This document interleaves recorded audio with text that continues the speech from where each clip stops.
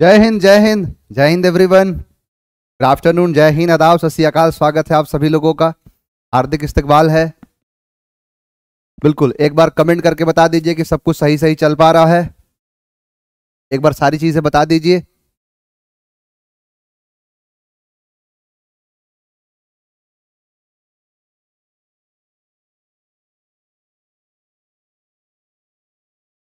सब कुछ क्लियर है? जय हिंद जय हिंद जय हिंद। जिसका तुम्हें था इंतज़ार, अब वो घड़ी आ गई है। मैं माफ़ी चाहूँगा थोड़ा सा समय लग गया इन सब चीज़ों में, और थोड़ा सा जो है लाइव करने में दिक्कत आ रही थी, और इसीलिए मैं पूछ रहा हूँ कि क्या सब कुछ सही सही है? सब कुछ सब कुछ एकदम क्लियर है? आप सभी लोग एकदम हरी झंडी दिखा दीजिए, और कमेंट में सभी लोग लिखो पहले जय हिंद। कमेंट में सिर्फ़ और सिर्फ़ मुझे जय हिंद दिखना चाहिए तिरंगे के साथ। अपने हिंदुस्तान का जो तिरंगा है, वो मेरी आँखों के सामने रहना चाहिए। हालाँकि वो तो दिल में है, उसकी जगह तो सदैव हमारे दिल में रहेगी। आप सभी के और मेरे हमेशा जो है दिल में रहेगी। चलिए। सर आपके आने से दिल धड़कने। आपका आना दिल धड़काना। अच्छा जी।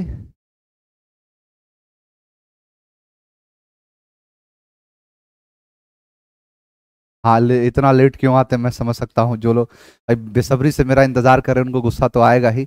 और टेक्निकल चीज़ें हैं थोड़ा सा कनेक्ट करने में टाइम लग गया, नहीं तो मैं तो कब से तैयार बैठा था। मैं तो कब से था रेडी तैयार, ऐसा तो है नहीं। इंतहा हो गई इंतज़ार की, बिल्कुल नहीं। अब इंतहा नहीं होगी इंतज़ार की, चलिए।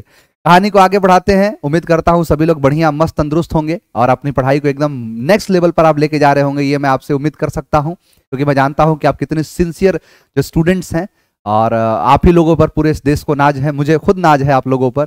चलिए, कुछ चीज़ों के बारे में हम बात करेंगे, कुछ चीज़ों के बारे में आज हम समझेंगे, और हमारी कुछ पुरानी भी बातें हुई हैं, कुछ हम पीछे भी बहुत सारी चीज़ों के बारे में हम समझे हैं, बहुत सारी चीज़ों के बारे में हम पहले भी सीखे हैं।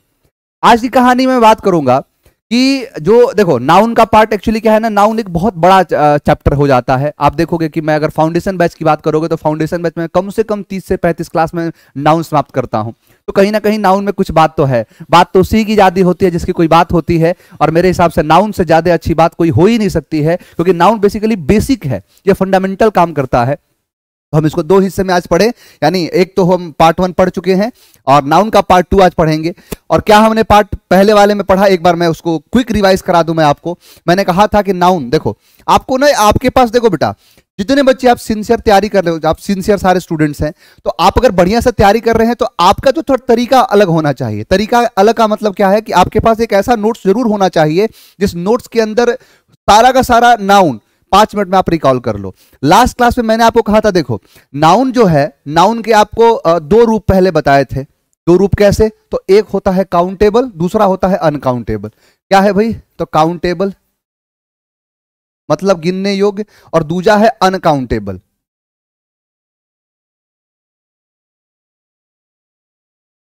काउंटेबल का मतलब क्या होता है? जिसको आप गिन सकते हो, जिसको आप गिनते हो, उसे कहते हैं काउंटेबल यानी जो गिनने योग्य होता है, उसे क्या कहा जाता है? तो काउंटेबल कहा जाता है। तो एक हो गया काउंटेबल दूसरा अनकाउंटेबल मैंने आपको कहा था कि काउंटेबल में बेसिकली एक होता है जिसे प्रॉपर नाउन कहते हैं।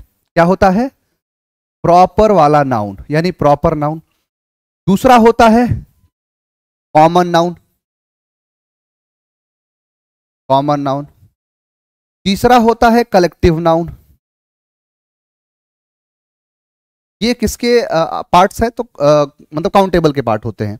अनकाउंटेबल के बारे में बात करूँ तो एक होता है मटेरियल और दूसरा होता है एब्स्ट्रैक्ट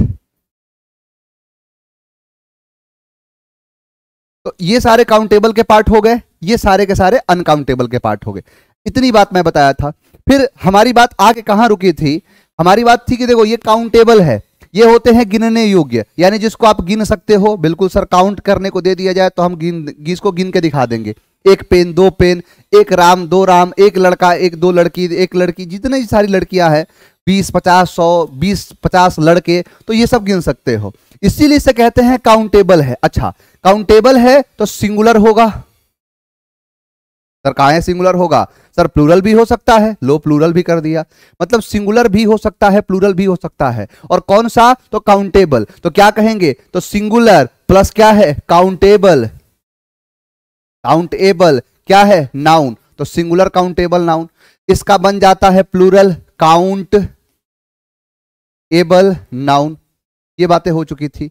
मैंने कहा था इसको शॉर्ट में लिख ले एस, काउंटेबल का सी और एन का एन बन गया क्या? S, C, N. इसको शॉर्ट में लिख लिया पी, सी, एन। क्या बन गया? P, C, N. तो हम एस, सी, एन से पी, सी, एन इसका बनाना सीख रहे थे। मैंने आपसे कहा था, मैंने आपसे कहा था कि खास करके ध्यान देना। हाँ। जिसकी, जिसका देखो, जिसका बफरिंग हो रहा है बेटा, आपने जाके वहाँ पर एक बार बाहर जाके आप फिर से जुड़ सकते हो, क्योंकि बफरिंग नहीं होगा। यहाँ बफरिंग होने का कोई चांस ही नहीं है। सर, आपसे एक बार पढ़ने के बाद फिर पढ़ने की ज़रूरत नहीं होती है, पर क्या करूँ?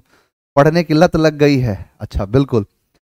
You are my cardiologist sir वाह। मैं जानता हूँ, मैं आपको पहचानता हूँ। ये बच्चा सच कह रहा है, ये हर क्लास, हर बैच में पहुँच जाता है पढ़ने के लिए।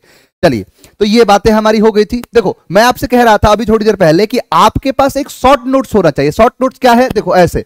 मैंने कहा था, पहला क्या बताया? कि एस से पीसीएन जाने के सफ़र में, मैंने कहा था कि जितने सारे नाउन है एट्टी परसेंट नाउन के साथ। क्या लगा दो? तो एट्टी परसेंट नाउन के साथ एस लगा दो, क्या हो गया? तो प्लूरल क्या हो गया? तो प्लूरल फिर मैंने कहा था इसमें जोड़ा कि हो सकता है कि ये जो एस लगा रहे हो, इसमें पहले से एस लगा हो। तो एस पहले से एस लगा लग सकता है। Double S S H C H क्या है? सी एच जेड एक्स इन सबका साउंड स है। तो आप यहाँ पर स जोड़ोगे तो स से पहले ई लगाओगे, यानी एस एस नहीं, फिर ई एस हो जाएगा। इसे इज़ कहते हैं। इसको अब हिंदी निकालोगे तो क्या कहेंगे? इसे इज़। ये नुकता होता है यहाँ पर। तो ऐसे करने से क्या हो जाएगा? प्लूरल। मैंने कहा था आपसे, तीसरा एक और नियम बताया कि देखो, होगा क्या कि अब हमारी आखिरी पर ही, आखिरी लेटर पर ही पूरी की पूरी लड़ाई लड़ जाएगी। कारण क्या है कि आखिरी लेटर से ही साउंड प्रोड्यूस लड़ रहा है। मतलब आखिरी लेटर ही एस को लड़ाएगा और लड़ाने की वजह से ही होगा। समझ में आया? हाँ। अब सुनो। समझ में आया? ये सारी बातें थी। फिर मैंने कहा था कि लास्ट लेटर के आखिरी में कैसे लड़ाएगा? सी एच का साउंड अलग वाला बता दिया था। एक होता है च और एक होता है क। क के साथ एस लगाओ, च के साथ ई एस लगाओ। ये बातें आपको बताया था। मैंने कहा था कि खेल कहाँ आएगा? तो खेल आ जाएगा वाई पर। अब मैंने कहा था वाई जो वाई दो प्रकार से होंगे। एक होगा वीएल वीएल प्लस वाई और दूसरा होगा CL plus Y VL plus Y CL plus Y VL plus Y vowel कितने पाँच एस लगेगा? CL plus Y I E S लगेगा।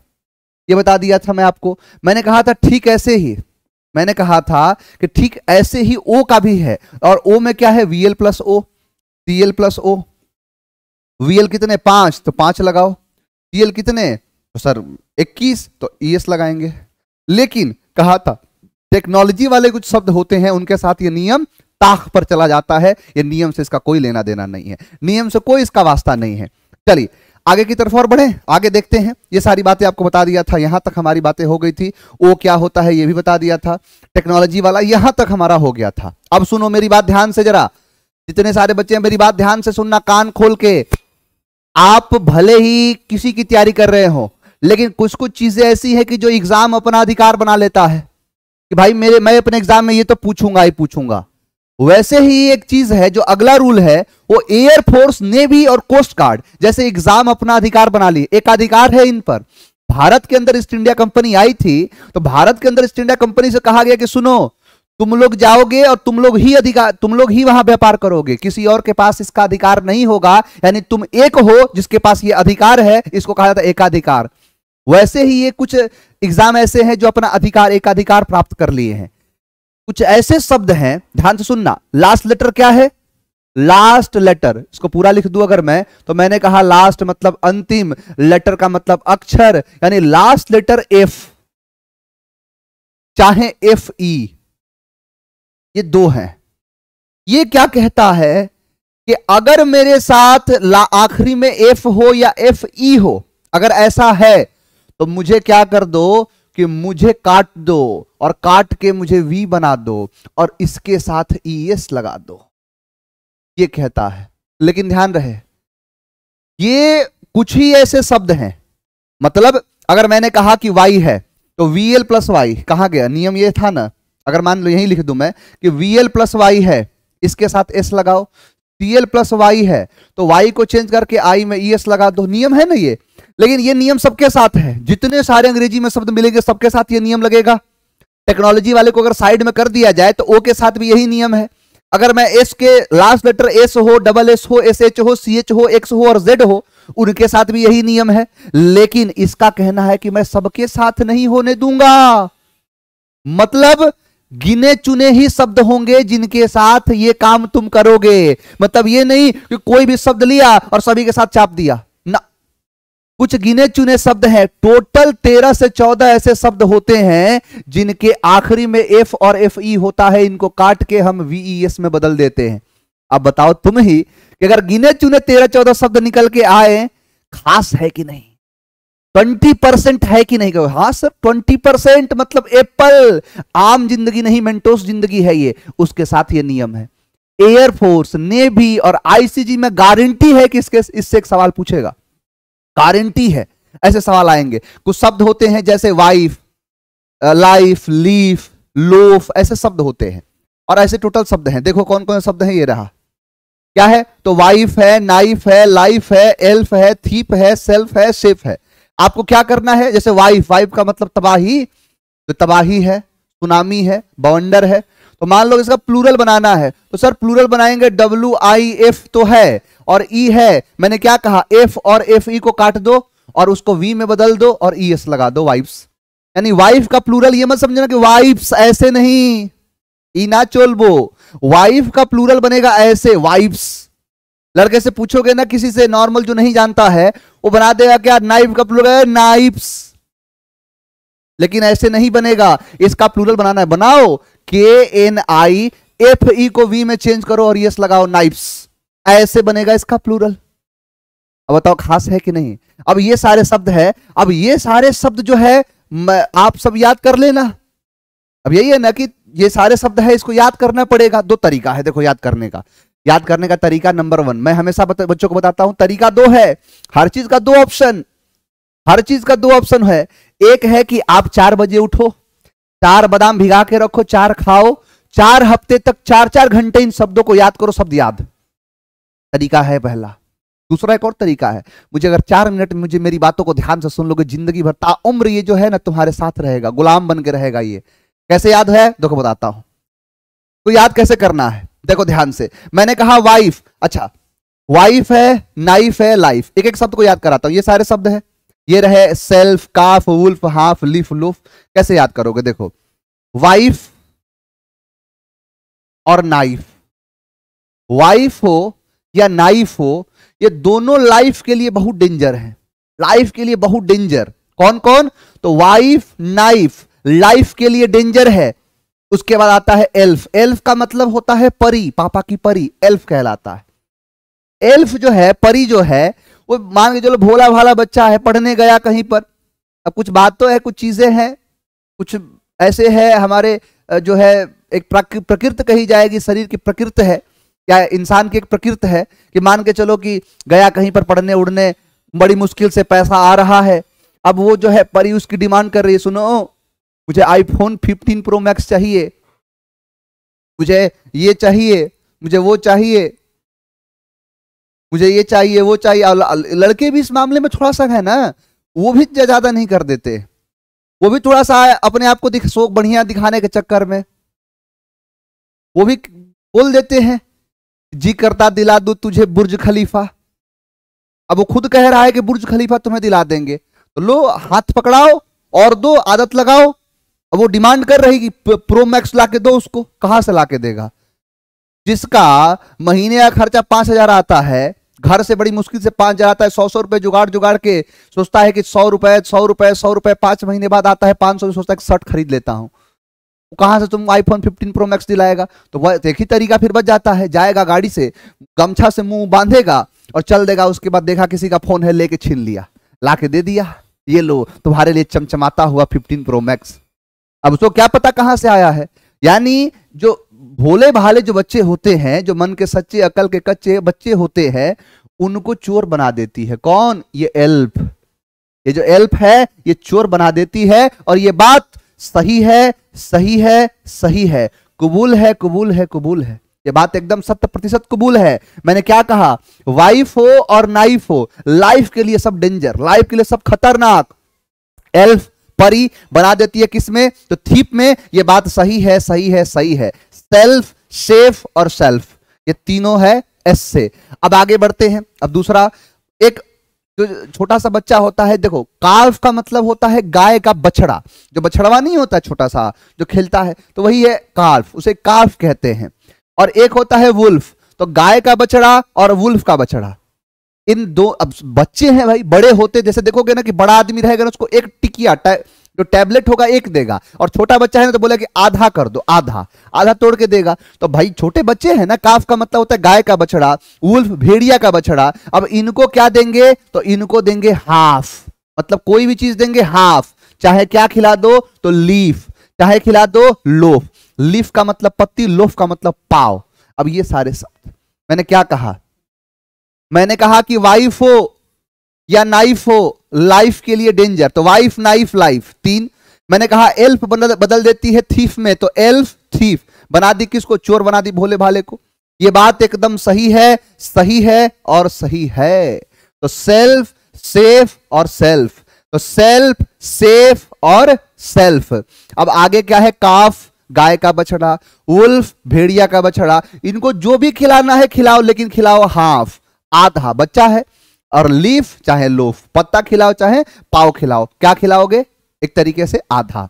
यानी ये सारे शब्द हैं। एक बार आँख बंद करो और आँख बंद करके सभी लोग सोचो क्या क्या बत, याद कराया। मैंने क्या कहा कि वाइफ हो और नाइफ हो लाइफ के लिए डेंजर है। एल्फ थीप में बदल देती है। ये बात सही है सही है सही है। सेल्फ शेफ और सेल्फ कबूल है कबूल है कबूल है. काफ गा, यानी गाय का बछड़ा उल्फ भेड़िया का बछड़ा. तो इनको जो भी खिलाना है खिलाओ. लेकिन आधा हाफ़ चाहे लीफ चाहे लोफ एक बार कमेंट करके बताओ कि ये सारी चीज़ें समझ में आई कि नहीं. याद हुआ कि नहीं हुआ?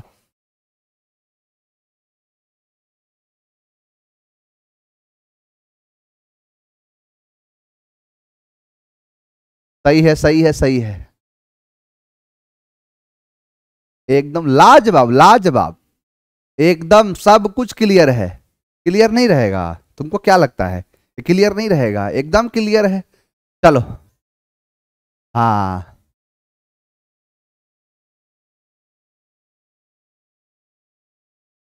चलिए, आगे बढ़े, आगे देखते हैं। अच्छा सुनो नेक्स्ट जो है संडे को मेरी क्लास रहेगी, सभी को बता दू मैं। नाउन खत्म करने के बाद एनडीए और सीडीएस में आज तक जितने नाउन से सवाल पूछे गए हैं, वो सारे सवाल कराऊँगा और साथ में प्रीवियस ईयर क्वेश्चन कराऊँगा। तो एकदम दिल थाम के बैठना।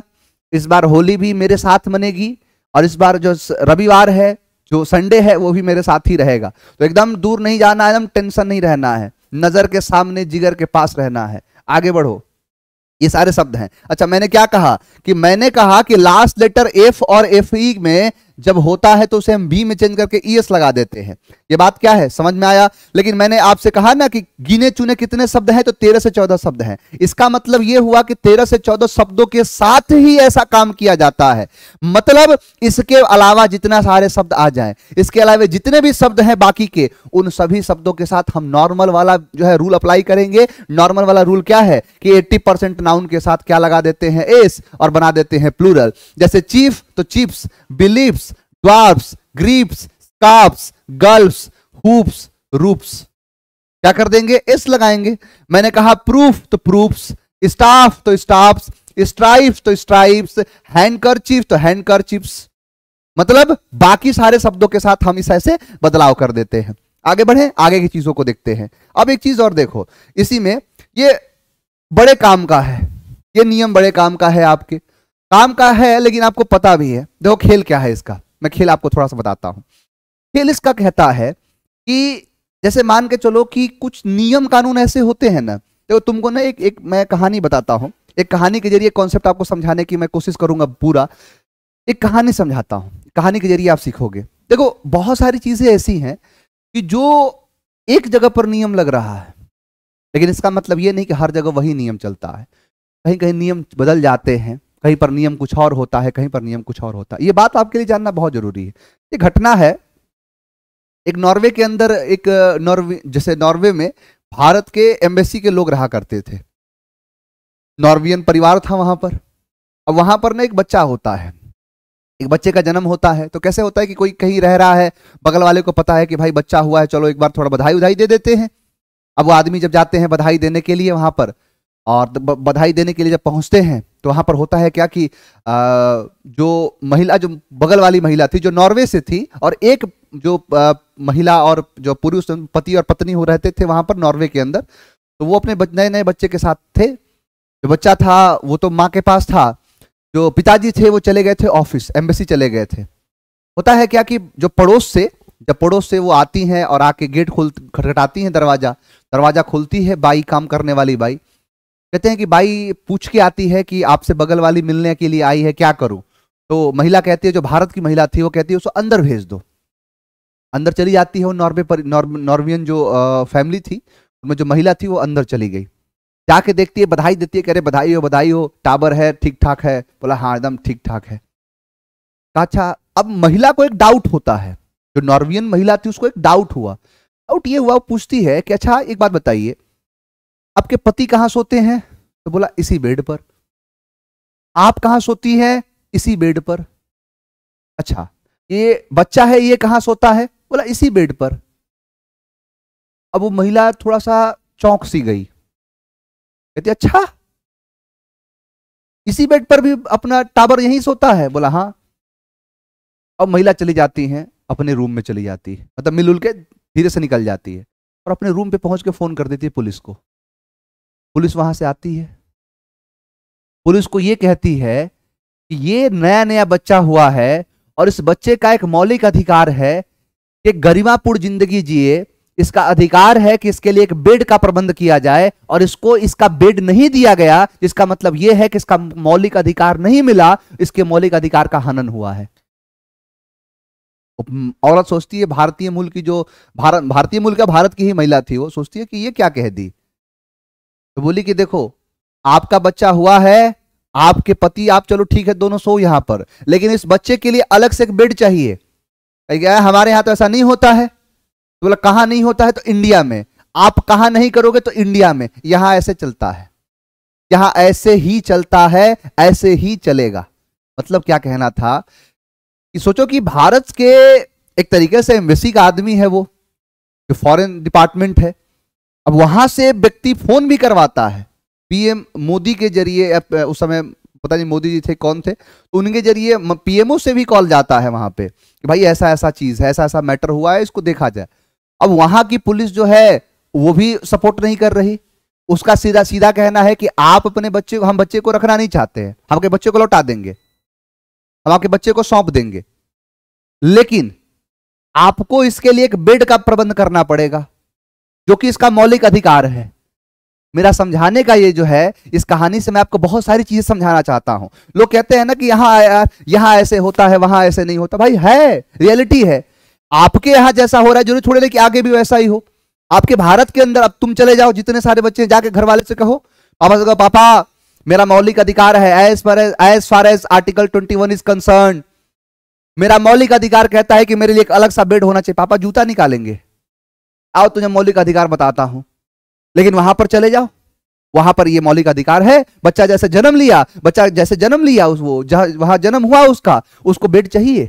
इसीलिए आप देखना, कभी आप नोटिस करना कि जो जैसे आप इंस्टाग्राम पर रील्स वगैरह देखते हो तो उस रील्स में देखना कि जैसे छोटे छोटे बच्चे होंगे ना, उनके लिए छोटा सा पालना जैसा बेड होता है ना, हमारे यहाँ भी होता था पहले तो पालना जैसा बेड उनके हर घर में लगा रहेगा। छोटे छोटे जो जितने जितने भी टावर होंगे सब वो बेड में लगे रहेंगे। उनके लिए छोटा सा एक एक बेड बनाया जाएगा, क्योंकि ऐसे बाहर होता है। मेरा इससे समझाने का मतलब है कि ज़रूरी नहीं है कि एक ही चीज़ हर जगह लागू हो। ज़रूरी नहीं है कि नाउन के अंदर एक ही नियम हर जगह लागू हो। कुछ ऐसे भी शब्द हैं जो लैटिन से लिए गए, और लैटिन से लिए गए शब्दों के साथ हम अपने भारतीय हिसाब से नहीं बनाते हैं। जैसे मान के चलो एक शब्द मैंने लिया बॉय, हमारा नियम क्या कहता है? हमारा नियम का तो यही कहना है कि बॉय का प्लूरल बनाना है तो बॉयज़ कर दिया। क्या कर दिया बॉय का प्लूरल बॉयज़ अब मान लो एक लैटिन भाषा का एक शब्द है मैन और तुमने कहा कि सुनो, हमारे भारत में ऐसा नियम है कि जिसका भी प्लूरल बनाना है, उसके साथ एस लगाना है। हमने कर दिया मैंस बोलेगा ना, ईना चोलबो। हमारे यहाँ ऐसा नियम नहीं है। तो तुम्हारे यहाँ का नियम क्या है? तो तुम्हारे यहाँ का नियम है कि मैन का जो प्लूरल बनेगा, वो बनेगा मेन मैन का प्लूरल क्या बनेगा? मेन कारण क्या है कि भाई हमारे यहाँ का नियम है? लैटिन भाषा का नियम है ये। लैटिन भाषा का नियम है ये, खास करके। तो ऐसे शब्दों का हम प्लूरल जब बनाते हैं तो इनसाइड वॉवेल को चेंज करके हम इसका प्लूरल बनाया जाता है।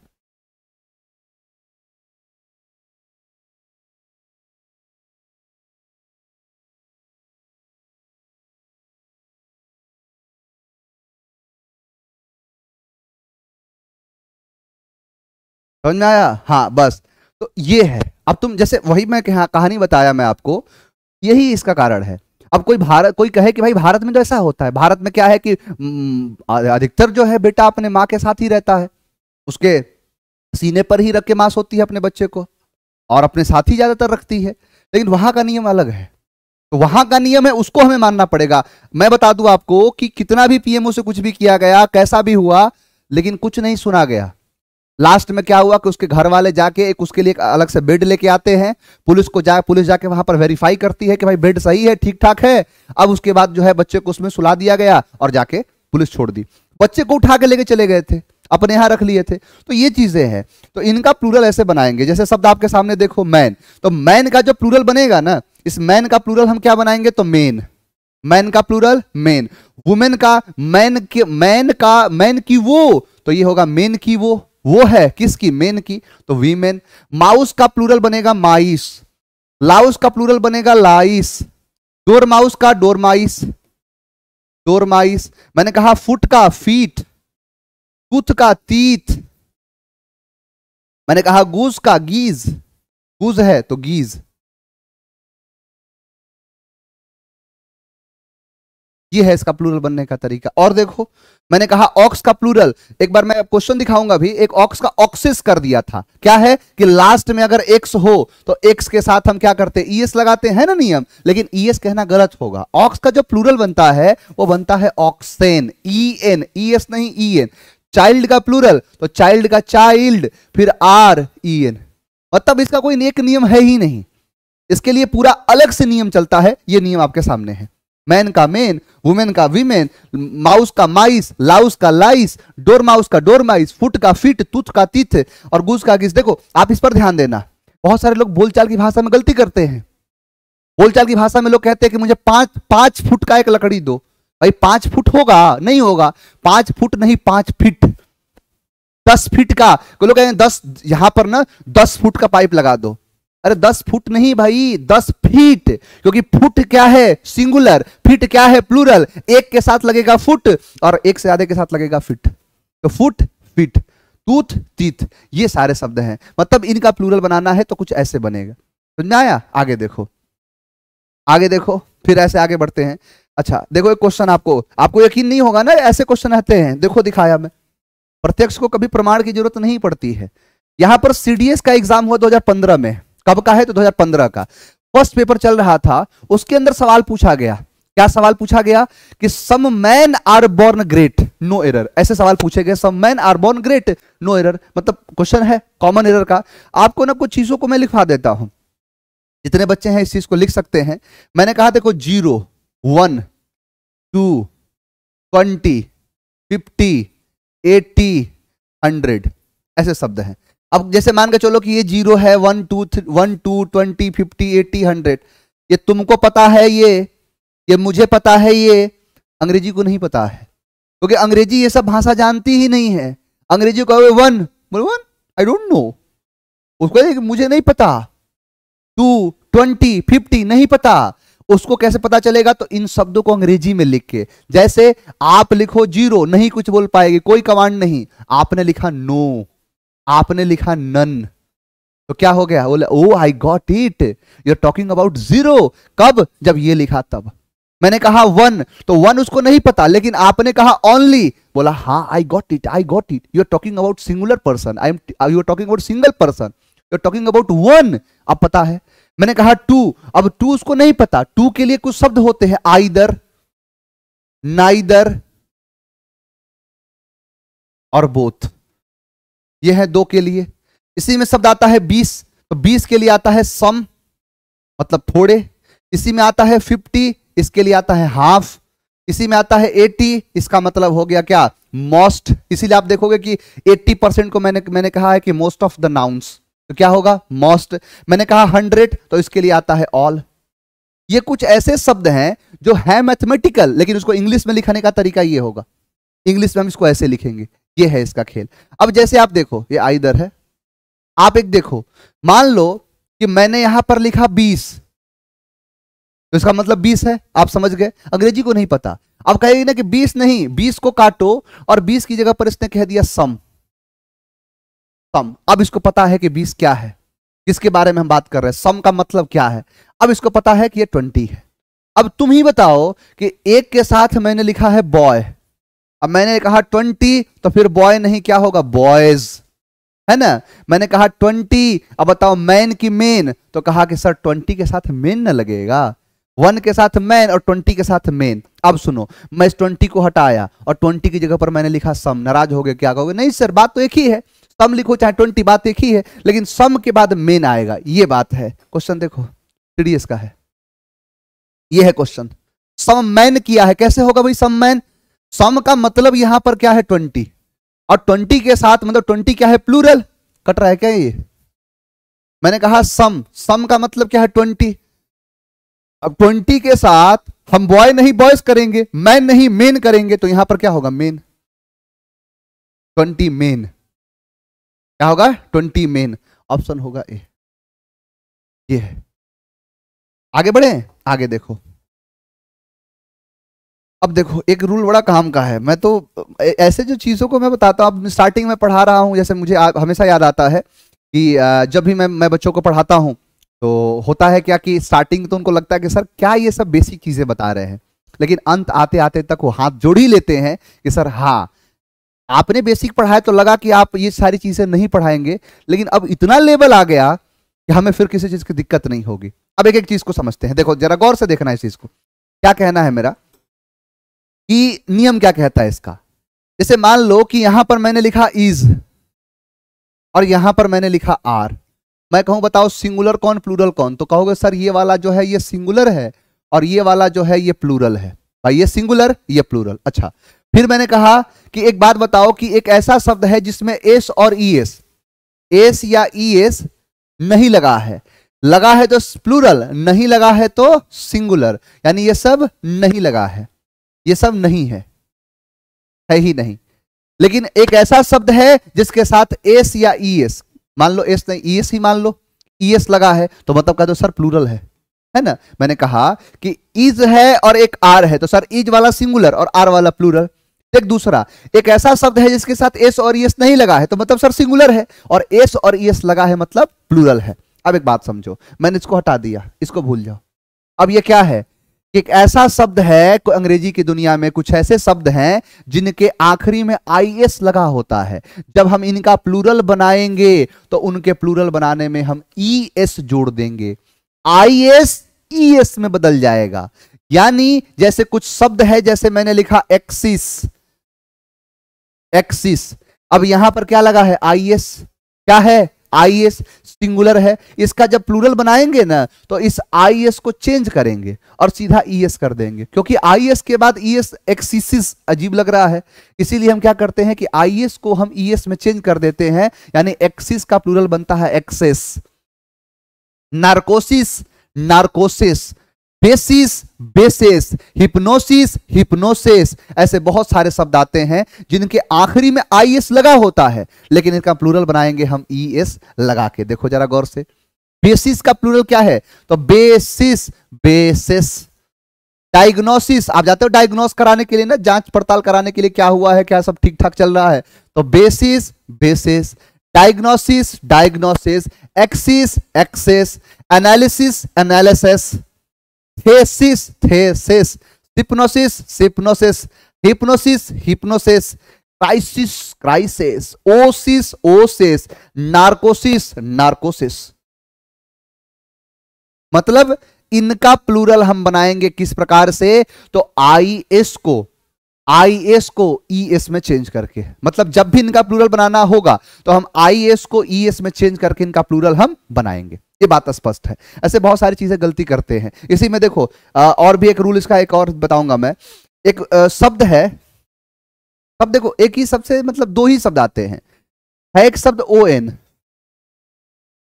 ओ एन क्या है? ओ एन अब ओ एन से दो ही शब्द है। एक क्राइटेरियन है एक फेनोमेनन है। ये दो ही शब्द हैं। लेकिन एक दूसरा शब्द है बड़ा ज़्यादा यू एम वाला। मतलब ओ एन से दो शब्द क्राइटेरियन और फेनोमेनन इनका हम प्लूरल बनाएँगे तो हम आँख इसको काट देंगे और इसके बाद ए लगा देंगे। मतलब इनको काट के इनकी जगह पर हम क्या लगा देते हैं? ए। जैसे मैंने कहा, दो शब्द ओ एन से कौन से थे? तो एक है क्राइटेरियन तो क्राइटेरियन का प्लूरल क्या होगा? क्राइटेरिया फेनोमेनन तो फेनोमेनन का प्लूरल क्या होगा? फेनोमेना तो फेनोमेनन फेनोमेना क्राइटेरियन क्राइटेरिया जैसे बहुत सारे देखोगे ना कि बहुत से किताबों में गलत लिखा होता है कि भारत के कुछ निम्न स्टेडियम्स स्टेडियम शब्द गलत है। स्टेडियम आखिर में लगा होता है यूएम लेकिन जब इसका हम प्लूरल बनाएँगे तो यूएम को काटेंगे और यूएम की जगह पर हम ए को टाप देंगे। यानी स्टेडियम का प्लूरल स्टेडिया बनेगा। मीडियम का प्लूरल मीडिया बनेगा। वही नहीं वही मीडिया जो एक सौ इकसठ नंबर पर है। तो मीडियम, मीडिया। देखो यहाँ पर। जैसे मैंने कहा क्राइटेरियन और एक है फेनोमेनन तो फेनोमेनन तो फेनोमेना अब मैं देखता हूँ, मैं नाम नहीं लूँगा, एक बहुत बड़े यूट्यूबर थे तो उन्होंने अपनी ऐसे बोलचाल की भाषा में कह दिया था कि ये एक नेचुरल फेनोमेना है।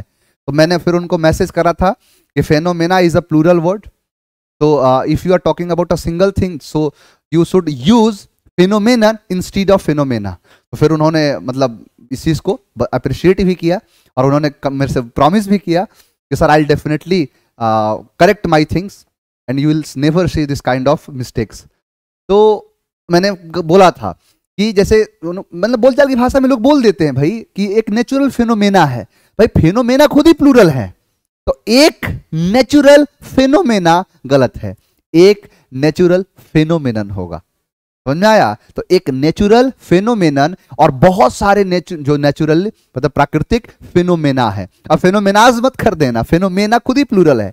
तो क्राइटेरियन का प्लूरल देखो यहाँ ओ एन को काटा और ए लगाया। तो क्राइटेरियन का प्लूरल क्या हो गया? तो सर क्राइटेरिया एजेंडम का एजेंडा डेटम एक सिंगुलर शब्द है, इसका क्या होगा? डेटा डेटम डेटा डेटा करवाएँगे, आयुष का है स्पैम कर रहे हो बेटा बार बार sir English sir NDA English complete करवा देंगे, बिल्कुल करवा दे। कहा चिंता कर रहे हो तुम लोग? करवा तो रहे हैं तुम्हारे लिए। मैंने कहा dictum dicta bacterium bacteria stadium stadia medium media आप पढ़े होगे इलेवन ट्वेल्थ में मैक्सिमम और मिनिमम इनका प्लूरल होता है मैक्सिमा और मिनिमा आपने पढ़ा होगा मैक्सिमा और मिनिमा तो मैक्सिमम तो मैक्सिमम का मैक्सिमा मिनिमम का मिनिमा मिलेनियम का मिलीनिया यानी इनका प्लूरल ऐसे बनेगा। समझ में आया?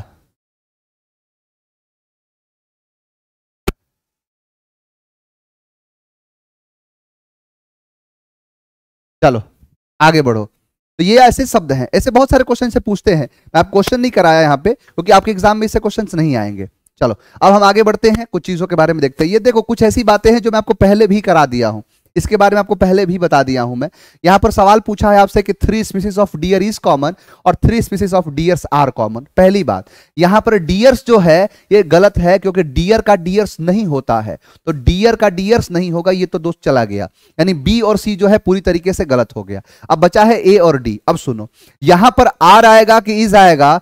सर, ये तो वर्ब है और वर्ब जो है सब्जेक्ट के अकॉर्डिंग आता है। मैं कहूँ कि डियर को देख के आर लगाओ और डियर को देख के इज़ लगाओ तो कहोगे, सर, कैसे लगा दोगे? सेंटेंस यहाँ से शुरू ही नहीं हुआ।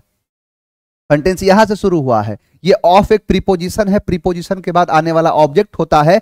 ये है सब्जेक्ट तो थ्री स्पीस क्या है? प्लूरल और थ्री स्पीसीज के हिसाब से वर्ब लगाना है तो इज़ नहीं लगेगा। थ्री स्पीसीज के साथ क्या लगेगा? आर ऑप्शन हो जाएगा डी ए होगा गलत। सब्जेक्ट और ऑब्जेक्ट के बारे में आपको पता होना चाहिए कि प्रीपोजिशन के बाद आने वाला कोई भी शब्द हो, वो ऑब्जेक्ट ही कहलाता है। कुछ भी आ जाए। अब थ्री स्पीसीज के लिए आएगा। अब जैसे कि आपको मैंने कहा था कलेक्टिव नाउन में भी पढ़ाया था कि कलेक्टिव नाउन में ऐसा होता है, ऐसा होता है। मैंने कहा था कि आपको एक बार फिर से इसके बारे में नाउन नंबर में आपको बताऊँगा। फिर से मैं इसके बारे में आपको नाउन नंबर के अंदर पढ़ाऊँगा। और वही घड़ी आ चुकी है नाउन नंबर में ही है ये।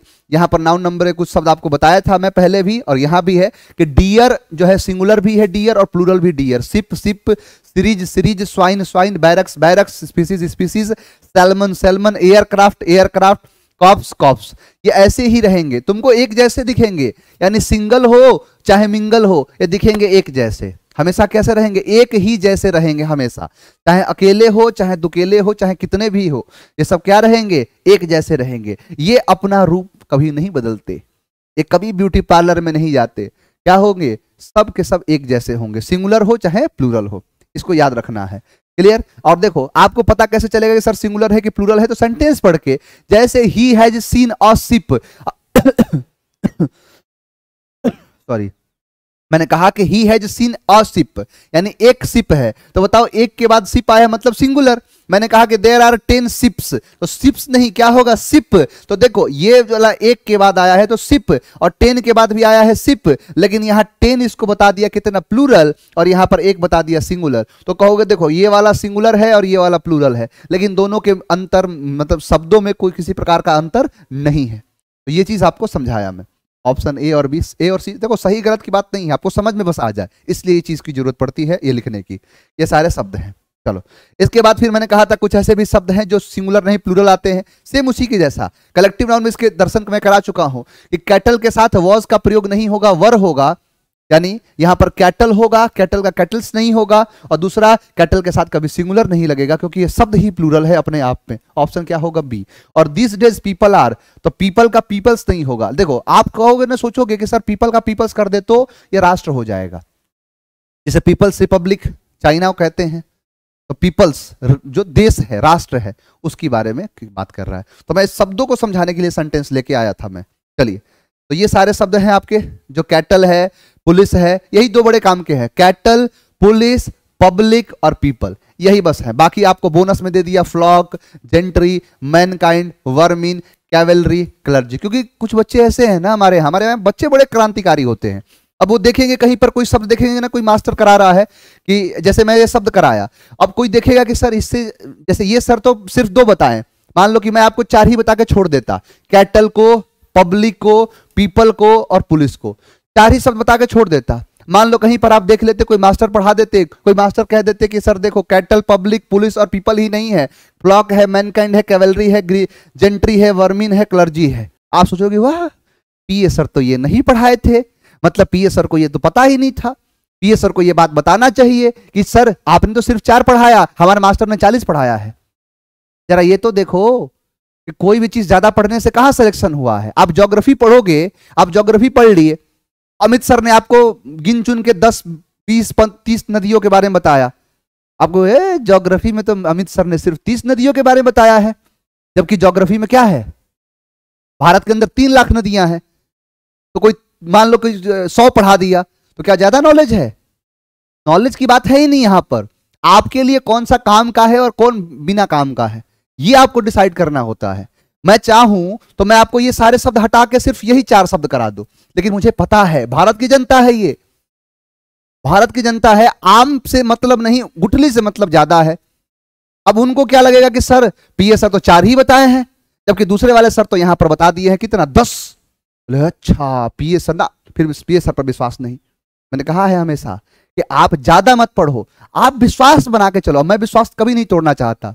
क्योंकि तो आप जिस दिन विश्वास तोड़ दोगे ना तो फिर आपको मैं कितना भी अच्छा पढ़ाऊं, आप फिर उसका किसी काम का नहीं है। और मैंने हमेशा कहा है कि ट्रिगर पर उंगली रखने वाला हर कोई शूटर नहीं होता मार्कर पर उंगली रखने वाला हर कोई टीचर नहीं होता। जीते की चाल, बाज की नज़र, बाजीराव की तलवार और इस पीएस सर के मार्कर पर कभी संदेह मत करना, ये कभी मात दे सकता है। मैं इसीलिए आपको बाकी जो ऐसे भी शब्द हैं जिनका एग्ज़ाम में इसका कोई मतलब नहीं है आने आने और ना आने से ये जनगणना के लिए बस है। इसलिए इन शब्दों को भी लेके आता हूँ। लेकिन आप ज़्यादातर देखोगे कि शब्द आपके ये चारों के रिपीटेशन ज़्यादा होंगे। ये सारे के सारे जो शब्द हैं, ये ज़्यादा होंगे। इस पर आप काम किया करो। हाँ हाँ बिल्कुल सही कहा है। दीपक का कहना है कि, सर, हमें कोई किस सब्जेक्ट की पीएचडी तो करनी नहीं है। हमें तो एग्ज़ाम क्लियर करने से मतलब है और एग्ज़ाम में ये सारे शब्द आते हैं। तो इस चीज़ से बच के भी रहना है। मैं हमेशा इस बारे में आपसे कहता हूँ। इससे बच के रहना है। चलो, आगे बढ़ते हैं, आगे भी देखते हैं। अब देखो ये शब्द हैं जो सिंगुलर प्लूरल में एक समान होते हैं ये ये शब्द हैं जो सिंग, मतलब सिंगुलर होते ही नहीं है प्लूरल होते हैं। अब एक, एक ऐसा शब्द है जो हमेशा क्या होता है सिंगुलर यहाँ पर क्या है? हमेशा सिंगुलर देखो जैसे यहाँ किया है मैथमेटिक्स आर और डिफ़िकल्ट सब्जेक्ट तो मैथमेटिक्स आर नहीं mathematics is his innings were नहीं वॉज़ तो ये ऑप्शन सी और ए चला गया बी और डी आपका राइट है। अब देखो गिने चुने इतने शब्द हैं। इतने शब्दों को एक बार देखो। ये ऐसे शब्द हैं जो हमेशा सिंगुलर होते हैं। इन शब्दों का प्रयोग सदैव जो है, वो सिंगुलर किया जाता है। इनके साथ हमेशा सिंगुलर वर्ब लगता है। इनको कभी भी हम प्लूरल नहीं करेंगे। इनका इस्तेमाल कभी भी हम प्लूरल के जैसा नहीं करेंगे।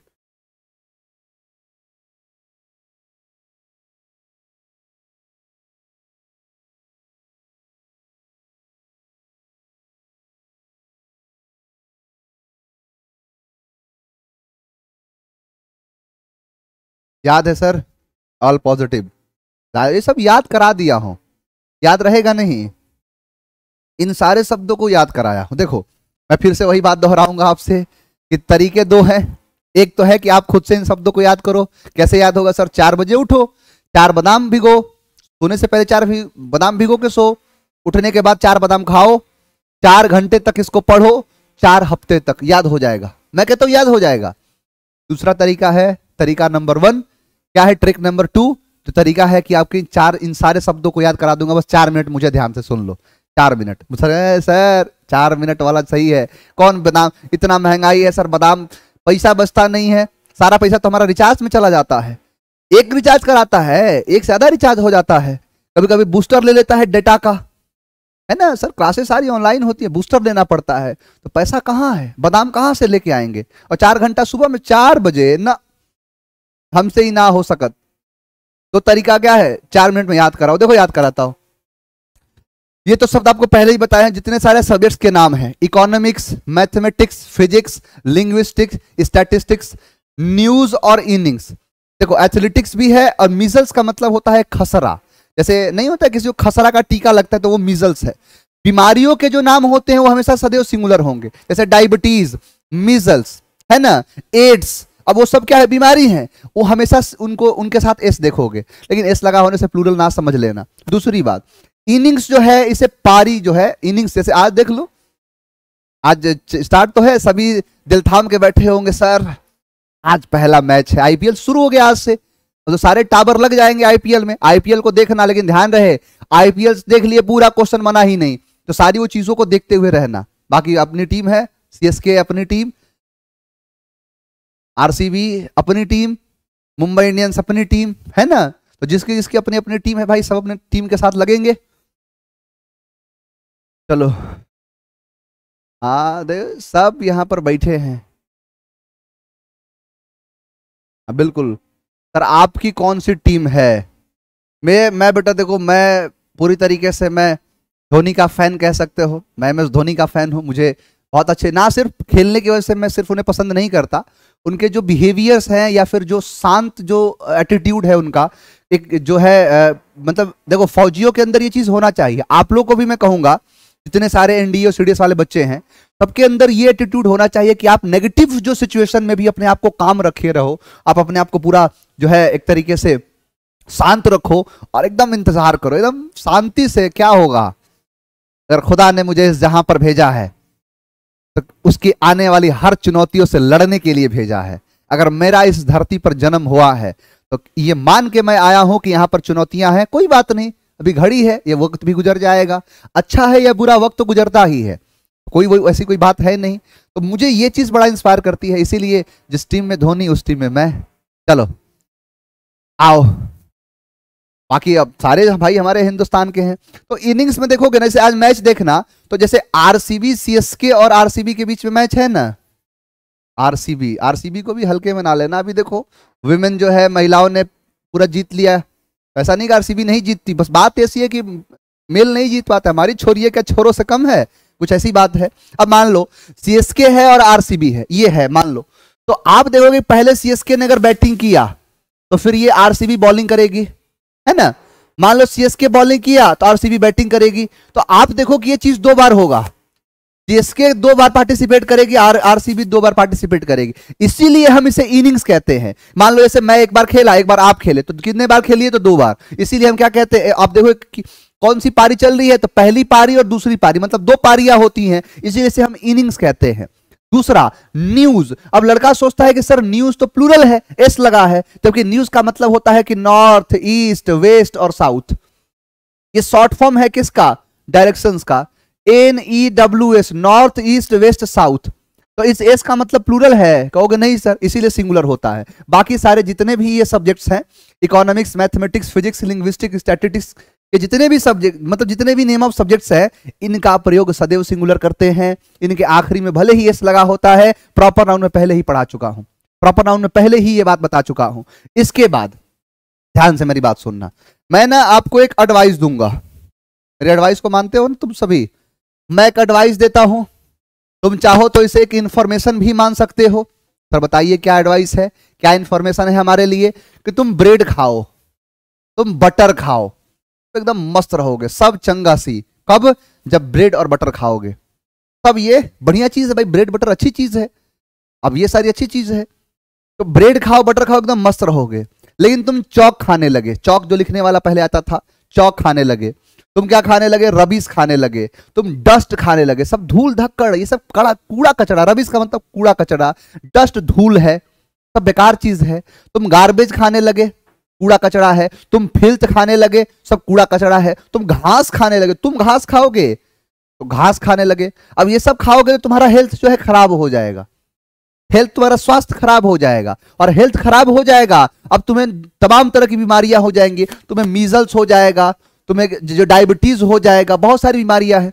जैसे बीमारियाँ लग जाएँगी। अब आदमी बीमार पड़ता है ना तो बीमारी में जितना सारा पैसा है, सब खत्म हो जाता है। अब बीमारी पड़ गई एडमिट हुआ। घर के सारे जितने भी पैसे थे, जितना सारा मनी था, सारे मनी समाप्त। जो भी धन दौलत समाप्त, जितना भी पैसा था, रुपए पैसा सब समाप्त। घर में पॉवर्टी छा गई, गरीबी छा गई। अगर आपका लक सही रहा तो बच तो जाओगे। लक सही रहा, बच गए। लेकिन किसी काम के नहीं रहे। किसी काम के नहीं रहे। क्या हुआ कि आप, अब भाई पैसा तो खत्म हो गया, घर में पैसा चाहिए। आप लगेज उठाए, बैगेज उठाए काम पर चल दिए म्यूज़िक सुनते हुए। म्यूज़िक सुनते सुनते काम कर रहे हो। क्या कहा मैंने? मैं आपको एक एडवाइस देता हूँ, चाहो तो इंफॉर्मेशन मान लो। क्या है सर एडवाइस इंफॉर्मेशन ब्रेड खाना शुरू करो। ब्रेड ब्रेड के साथ बटर खाओ। अच्छी बात है, लेकिन तुम चौक खा रहे हो रबिस खा रहे हो डस्ट खा रहे हो गार्बेज खा रहे हो फिल्थ खा रहे हो ग्रास खा रहे हो, सब कूड़ा कचड़ा है। अगर ये सब खाओगे तो हेल्थ खराब होगा। हेल्थ खराब होगा तो क्या होगा? मम्स होगा डायबिटीज़ होगा, सारी बीमारियाँ लगेंगी। अब बीमारी होगा तो इलाज होगा, इलाज में सारे मनी समाप्त हो जाएँगे। सारे मनी समाप्त होंगे तो घर में गरीबी छा जाएगी। गरीबी छाने के बाद तुम लग, तुम्हारा लक्ष्य सही रहा, तुम बस तो गए, लेकिन अब किसी किसी काम के नहीं हो। घर वालों ने लोन ले रखा है। अब लोन लेके तुम्हारा इलाज कराया, किसी काम के नहीं बचे। अब फिर तुम लगेज उठाए, अपना बैगेज उठाए बोरिए बिस्तरा उठाए वर्क यानी काम पर चल दिए म्यूज़िक सुनते सुनते काम कर रहे हो। तो इसका मतलब इन शब्दों को क्या कहते हैं? ये शब्द रहे और इन शब्दों के साथ हम कभी भी एस और एस नहीं लगाते हैं। क्या कहा? एक एडवाइस इंफॉर्मेशन मानो ब्रेड खाओ बटर खाओ, सब बढ़िया है, लेकिन chalk dust rubbish garbage filth grass सब खाने की चीज़ है। अगर ये खा रहे हो तो फिर फिर तो बीमारी लगेगी ही। चलो हेल्थ हो गया खराब। मम्स निकल गया। मम्स का मतलब समझते हो? मम जितनी सारी बीमारियाँ हैं। मम्स मीजल्स यह है ना डायबिटीज़ सबके साथ ऐसा लगाता है। मम्स का मतलब होता है गलसुआ। जैसे देखिए गा, गाल जो है फूल जाएगा इतना। वो गलसुआ माता है। पूजा होती है उनकी। तो वही है मम्स। वेल्थ सारा समाप्त धन दौलत समाप्त मनी समाप्त। अब मनी समाप्त तो घर में गरीबी छाएगी। गरीबी छा गई लग तुम्हारा ठीक रहा बच गए। लेकिन किसी काम के नहीं रहे लगेज उठाए बैगेज उठाए वर्क यानी काम पर चल दिए म्यूज़िक सुनते हुए गाना सुनते हुए। तो ये सारे शब्द हैं। इसके बाद ध्यान देना। इन दो शब्दों पर ध्यान देना। लगेज और बैगेज वाले पर। इसी से मिलता जुलता शब्द है क्या? एजीई वाला। कौन सा? तो wastage luggage baggage drainage percentage heritage breakage wreckage espionage ये ऐसे शब्द हैं जिनके आखिरी में जीई लगा है। ए जीई और बाकी ये तो करा ही दिया हूँ। Scenery jewellery machinery poetry pottery stationery greenery crockery cutlery इन शब्दों के साथ कभी भी एस और ई एस ना लगाना। देखो, तुम्हारा ही कुछ देर पहले मतलब कुछ देर पहले, कुछ देर बाद ये पीएस सर का किया कमाल। लो, अभी थोड़ी देर पहले बताया कि चार मिनट मुझे ध्यान से सुनो। चार मिनट बीता ही नहीं सारे शब्द तुम्हारे गुलाम। ये रहे सारे शब्द। क्या economics, mathematics, physics, linguistics, statistics, news, innings, athletes? यहाँ पर क्या एथलीट्स भी एक तरीके से सब्जेक्ट ही कह सकते हो, जहाँ पर जिम्नास्टिक वगैरह जो है एथलीट जो दौड़ते हैं, वो सब मिजल्स है।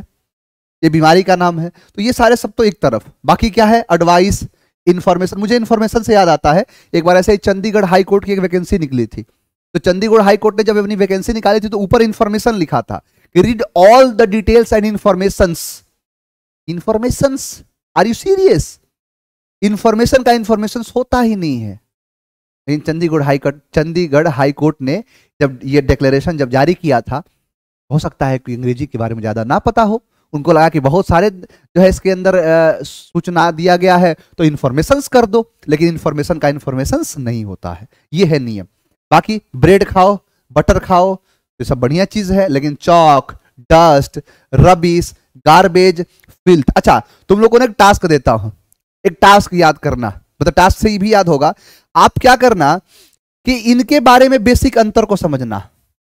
देखो डस्ट का मतलब तो चलो धूल होता है। ये तो सर पता करने की ज़रूरत नहीं है। लेकिन रबिस का मतलब क्या है? ये सब कूड़ा कचड़ा है। रबिस, गार्बेज और फिल्थ, ये सब क्या है? कूड़ा कचड़ा है। एक ड्रेक्स भी शब्द होता है। ये सब कूड़ा कचड़ा है। बीन देखोगे, बीन का मतलब भी कूड़ा कचड़ा। तो रबिस का, गार्बेज का और फिल्थ, इन तीनों के बीच में क्या क्या अंतर? भाई, तीनों तो कूड़ा कचड़ा है, लेकिन रबिस कौन सा कूड़ा कचड़ा है? गार्बेज कौन सा कूड़ा कचड़ा है? फिल्थ कौन सा कूड़ा कचड़ा है। तो इन तीनों के बारे में जरा पता करके आप आना कि क्या है तीनों का अंतर। बाकी ग्रास, घास घास कभी कोई गिनता ही नहीं है तो सिंगुलर ही हो घास अब ग्रास का ग्रासिस मत कर देना। बाकी हेल्थ का हेल्थ नहीं होगा। मम्स, जो गर्ल्स हुआ है, वेल्थ का वेल्थ नहीं होगा। अच्छा मनी के बारे में थोड़ा सा समझा दू मैं आपको। ध्यान देना, मनी में और रुपीज़ में अंतर। आपको, आप आगे पढ़ोगे, मैं अभी हाल फ़िलहाल में कुछ क्वेश्चन देख रहा था। एक शब्द लिखा था, मेनी मनी। मेनी मनी जबकि ये गलत है। मनी क्या है? अनकाउंटेबल मनी जो है वो अनकाउंटेबल है, और अनकाउंटेबल के साथ कभी मेनी का प्रयोग नहीं होता है मच का प्रयोग होता है। मेनी और मच शब्द होते हैं। ये काउंटेबल के लिए अनकाउंटेबल तो ये सही है। अभी हाल फ़िलहाल में क्वेश्चन पूछा। अब आपके मन में एक चीज़ आएगा, सर, क्या मनी को हम काउंट नहीं करते हैं? बिल्कुल काउंट नहीं कर सकते। जैसे मान के चलो कि मनी का मतलब तुम समझते क्या हो, क्या है मनी देखो, अंतर सब अंतर बता के समझाना चाहूँगा। एक तो है रुपीज़ रुपीज़ का मतलब होता है आपके पास जो धन है, कैसा करेंसी के रूप में। मतलब आप जो है, आप ये दिखा रहे हो, जैसे रुपीज़ का मतलब है कि आपके पास रुपया कितना है। रुपया, जो आप गिन रहे हो एक हज़ार, दो हज़ार, एक लाख, दो लाख, एक करोड़, दो करोड़, ये सब रुपए है। लेकिन मनी का मतलब रुपए से नहीं है। मनी के अंदर ये सारी चीज़ें आती हैं। मनी मॉनिटरी को दिखाता है। जैसे मान के चलो आप कहो, सर, आपके पास कितना मनी है? भाई, मेरे पास एक रुपए भी नहीं है। एक रुपए भी नहीं है। लेकिन क्या मेरे पास इसका मतलब मनी नहीं है? बिल्कुल है। जैसे मैं कहूँगा कि मेरे इस टी शर्ट की भी अपने आप में कीमत है। मेरे पास ये पेन है, इसकी कीमत है। मेरे पास माइक है, इसकी इसकी भी कीमत है। ये बोर्ड है, इसकी भी एक कीमत है। बोला कि तुम्हारे पास ना गाड़ी है, ना ये है, ना वो है। तुम्हारे पास क्या है? तो मेरे पास माँ है। तो माँ की कीमत अनमोल है। मनी मनी का मतलब होता है कि आपके पास एक गाड़ी है, ना उसकी कीमत है। तो गाड़ी आपके मनी का हिस्सा है, जबकि रुपये आपके गाड़ी का हिस्सा नहीं है। मनी के अंदर ये सारी चीज़ें आती हैं। जो आप मान लो कि कहोगे सर, आपके पास कितना मनी है?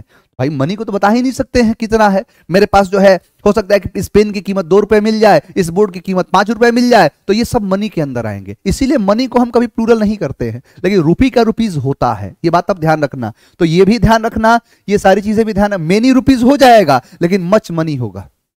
ये है इसका खेल। आगे और देखो पॉवर्टी गरीबी लक लगेज का लगेजेस मत कर देना बैगेज का बैगेजेस मत कर देना। वर्क का वर्क्स नहीं होगा। अगर वर्क का वर्क्स करोगे ना तो रचनाएँ हो जाएँगी। चलो म्यूज़िक अब कहोगे सर कि म्यूज़िक तो प्लूरल हो सकता है ना?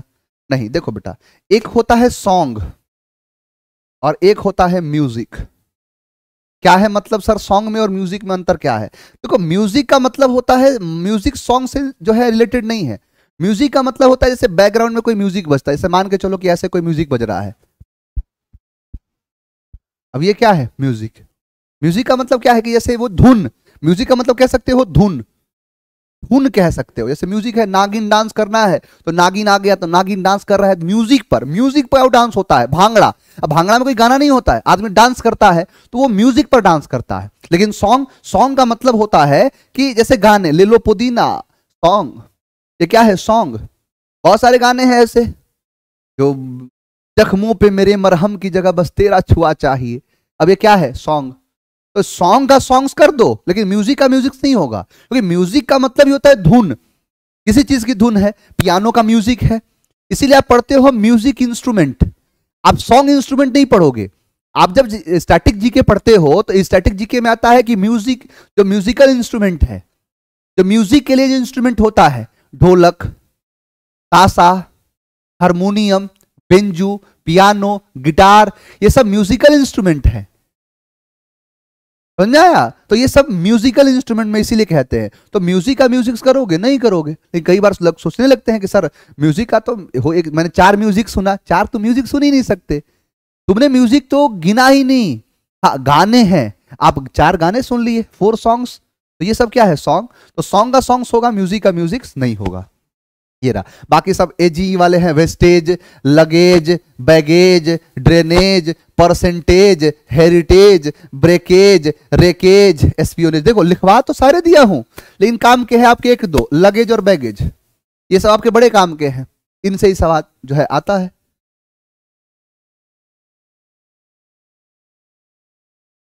है ना? ये सब है। बहुत सारे गाने गाने लोग सुनते हैं, नहीं गाना, बहुत सारे गाने आते हैं। तो ये बात है। चलो तो ये सारे शब्द है। अब देखो। यहाँ पर है जैसे देखो कि हिज लगेजेस तो भाई लगेज का लगेजेस तो होगा ही नहीं। लगेज का लगेजेस होगा सर नहीं होगा। लगेज का लगेजेस नहीं होता है। ठीक है? इंफॉर्मेशन का इंफॉर्मेशन नहीं होता है। क्या होगा लगेज तो लगेज का लगेजेस नहीं होगा, लगेज होगा। दूसरी बात, लगेज के हिसाब से वर नहीं आएगा। लगेज सिंगुलर है वॉज़ होगा ऑप्शन सी ए बी गलत। मैंने कहा he has given me a good information नहीं होगा। और ध्यान रहे यहाँ पर अ पीस ऑफ़ इंफॉर्मेशन होगा ऑप्शन यहाँ पर ही। तो जैसे मैंने कहा ना कि अभी चंडीगढ़ हाई कोर्ट ने जब अपनी वैकेंसी निकाली थी तो इन्फॉर्मेशन का इन्फॉर्मेशन कर दिया था। गलत था वो। इन्फॉर्मेशन का इन्फॉर्मेशन नहीं होता है। अब सुनो, अब आपके मन में ना कुछ सवाल आएँगे। कुछ क्यूट क्यूट से सवाल आएँगे। सर, सच्ची कभी प्लूरल नहीं होगा? होगा। सर कभी मान लो कि हमने कहा किसी चीज़ का कि भाई ने कोई दो एडवाइस दिया था।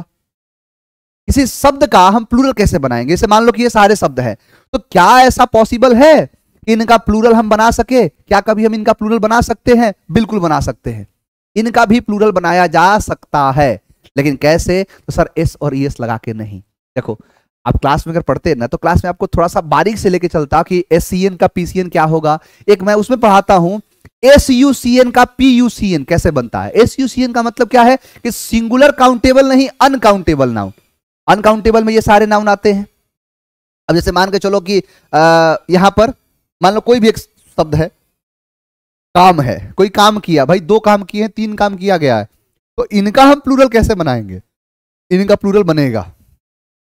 मतलब सर, कुछ ऐसे शब्द होते हैं, जैसे पानी है वाटर तो वाटर को हम अगर मान के चलो प्लूरल बनाना है हमें, लेकिन वाटर को प्लूरल बनाएँगे, लेकिन उस वाटर को किसी कंटेनर में डालने के बाद, अब वो कंटेनर हो सकता है ग्लास का हो, वो कंटेनर हो सकता है बॉटल का हो मतलब कुछ ऐसे जो शब्द हैं, जिनका प्लूरल नहीं सीधा सीधा बनता है, उसको टेढ़ा टेढ़ा बनाते हैं. तो सीधा सीधा नहीं बना तो टेढ़ा टेढ़ा टेढ़ा टेढ़ा कैसे? कि कुछ शब्दों की मदद से. क्या शब्द है? तो a piece of a kind of a pile of an article of जैसे मान के चलो कि आपने चार म्यूज़िक सुना है तो गलत है ये। आपने, जैसे मान के चलो कि आपने म्यूज़िक सुना तो म्यूज़िक एक धुन है। तो सर? चार टाइप की धुन सुनी है। इस धुन को तीन टाइप से निकाल के दिखाओ। है ना? अलग अलग जैसे नागिन डांस जो आदमी करता है तो नागिन बीट जो है, उसका अलग अलग कोई धुन निकाल देता है। तो उसके लिए कुछ शब्द बने हुए हैं। उन शब्दों को हमें पढ़ना है। जैसे शब्द देखो, शब्द तुम्हें दिखाता हूँ। यहाँ पर शब्द देखो। ये रहे शब्द। A piece of a sheet of a kind of an article of a pile of a type of an item of यानी जो शब्द हैं ये, इन शब्दों का हम प्लूरल कैसे बनाएँगे? तो इन शब्दों का हम प्लूरल बनाते हैं। लेकिन कैसे बनाएँगे? तो इन शब्दों का प्लूरल बनाने का तरीका है कुछ शब्दों की मदद से। मतलब इन शब्दों का भी प्लूरल कुछ शब्द लगा के बनाएँगे। जैसे आप कहे कि पानी, चार पानी नहीं होता, लेकिन चार गिलास पानी तो होता है ना? चार बोतल पानी तो होता है ना? चार गैलन पानी तो होता है ना? तो इनका तरीका ये है। मैंने, मान के चलो कि कोई इंफॉर्मेशन दिया, लेकिन इंफॉर्मेशन अलग अलग चार थे। तो आप क्या कहोगे? फोर इंफॉर्मेशन गलत है। आपने कहा चार इंफॉर्मेशन तो था, चार। मतलब एक इसके लिए, एक इसके लिए, एक इसके लिए, एक इसके लिए। तो उसको types of kinds of variety of इन किसी किसी भी शब्द को लगा लो, ऐसा नहीं है। किसी भी शब्द को लगा सकते हो काइंड ऑफ़ टाइप ऑफ़ ये सब क्या है? उसके वेराइटी प्रकार, इसके रूप मतलब जितने सारे रूप हैं, इन सबको बता सकते हैं। तो आप मान के चलो कि आपको प्लूरल बनाना है तो कोई नहीं रोक रहा। क्या कर लो? इन शब्दों को लगा लो। एक का मतलब क्या है? एक। ए का मतलब क्या है? एक। तो ये तो एक को दिखाएगा। तो एक रहेगा तो a piece of a sheet of a kind of an article of a pile of an item of a type of a bit of लेकिन अगर एक से ज़्यादा बनाना है तो कुछ नहीं करेंगे, सर, एक को हटाएँगे। अब यहाँ पर जितना जोड़ना है, जोड़ लो। जैसे पीसेस तो कितना? तो two pieces five pieces twenty pieces hundred pieces thousand pieces तो आप यहाँ पर कर लो फोर्टी पीसेस ऑफ़ आप कर लो eighty sheets of twenty kind of है ना? Fifty articles of ten piles of ten items of जितना करना है। आप यहाँ करो twenty types of ten bits of यानी आपको इसका प्लूरल बनाना है तो आप ऐसे बनाओगे। अब ये नहीं सीधा सीधा कि वाटर का वाटर्स कर दिया है ना? इसका ध्यान रखना कतई नहीं करना इसको। ये है जैसे देखो यहाँ पर क्या है कि ही पोड उसने उड़ेला। क्या उड़ेला? तो ग्लास ऑफ़ वाटर तो ग्लास कि, कितने ग्लास एक ग्लास तो अ ग्लास ऑफ़ ग्लास एक कॉमन नाउन है तो कॉमन नाउन है तो अ ग्लास ऑफ़ होगा ऑप्शन बी ए गलत। ही एट वह खाया क्या खाया? तो पीस ऑफ़ ब्रेड तो a piece of bread a piece of bread ये रहा। और मान लो किसका अगर प्लूरल बनाना है, मान लो इसका प्लूरल अगर हमें बनाना है तो प्लूरल हम बनाएँगे ऐसे, जैसे ही पोड उसने उड़ेला तो टू ग्लास होगा? नहीं सर टू ग्लास ऑफ़ तो टू ग्लास नहीं टू ग्लासेस ऑफ़ ऑप्शन क्या होगा? C he ate two piece of नहीं two pieces of option D तो ए और बी गलत सी और डी सही। सी और डी सही। ए और बी क्या हो गए? गलत। ऐसा समझ में? तो इन शब्दों का भी प्लूरल बनाया जा सकता है। बताओ, एक बार कमेंट करो भाई सभी। समझ में आया कि नहीं आया?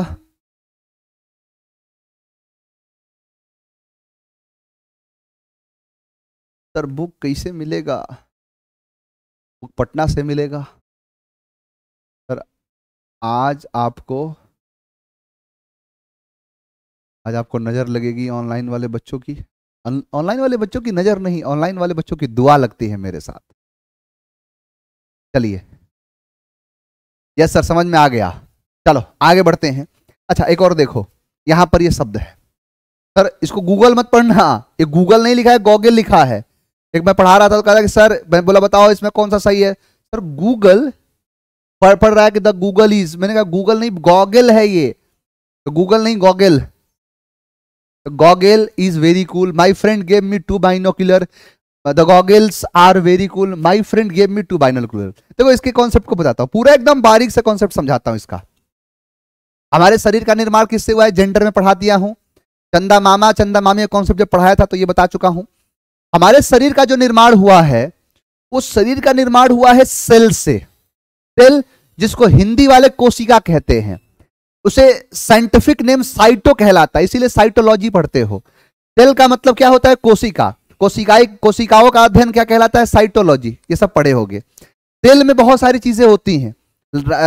Lysosome centrosome endoplasmic reticulum mitochondria बहुत सारे शब्द होते हैं। हमारे काम का है न्यूक्लियस क्या है न्यूक्लियस न्यूक्लियस को हिंदी में कहते हैं केंद्रक। तो केंद्रक है ये। न्यूक्लियस को तुम देखोगे डिटेल से इसके बारे में न्यूक्लियस में जब पढ़ोगे ना तो इस न्यूक्लियस के अंदर तुमको एक बड़ी खास की चीज़ पढ़ने को मिलेगी, जिसे कहते हैं क्रोमोजोन। क्या है सर? तो सर, ये क्रोमोजोन है। इसी क्रोमोजोन को अगर तुम बढ़िया से देखोगे तो देखो यहाँ पर। इस क्रोमोजोन को बढ़िया से देखोगे तो इसकी संरचना कुछ ऐसे होगी। कुछ इस प्रकार से होगी। इसकी संरचना ऐसे होगी। इसके अंदर होता है न्यूक्लियोटाइड। अब हर चीज़ में देखोगे ना तो न्यूक्लियस रिलेटेड हर चीज़ को न्यूक्लियो कहते हैं। इसीलिए इसे कहेंगे न्यूक्लियोटाइड। एडनीन, थानीन, ग्वानीन, साइटोसिन, ये सारी चीज़ें आप पढ़े होंगे बायोलॉजी में। खास बायोलॉजी नहीं पढ़ा रहा। ये इसे कहते हैं एक शब्द में DNA DNA deoxyribose nucleic acid. कहलाता है, एक आरएनए होता है, राइबोस न्यूक्लिक एसिड।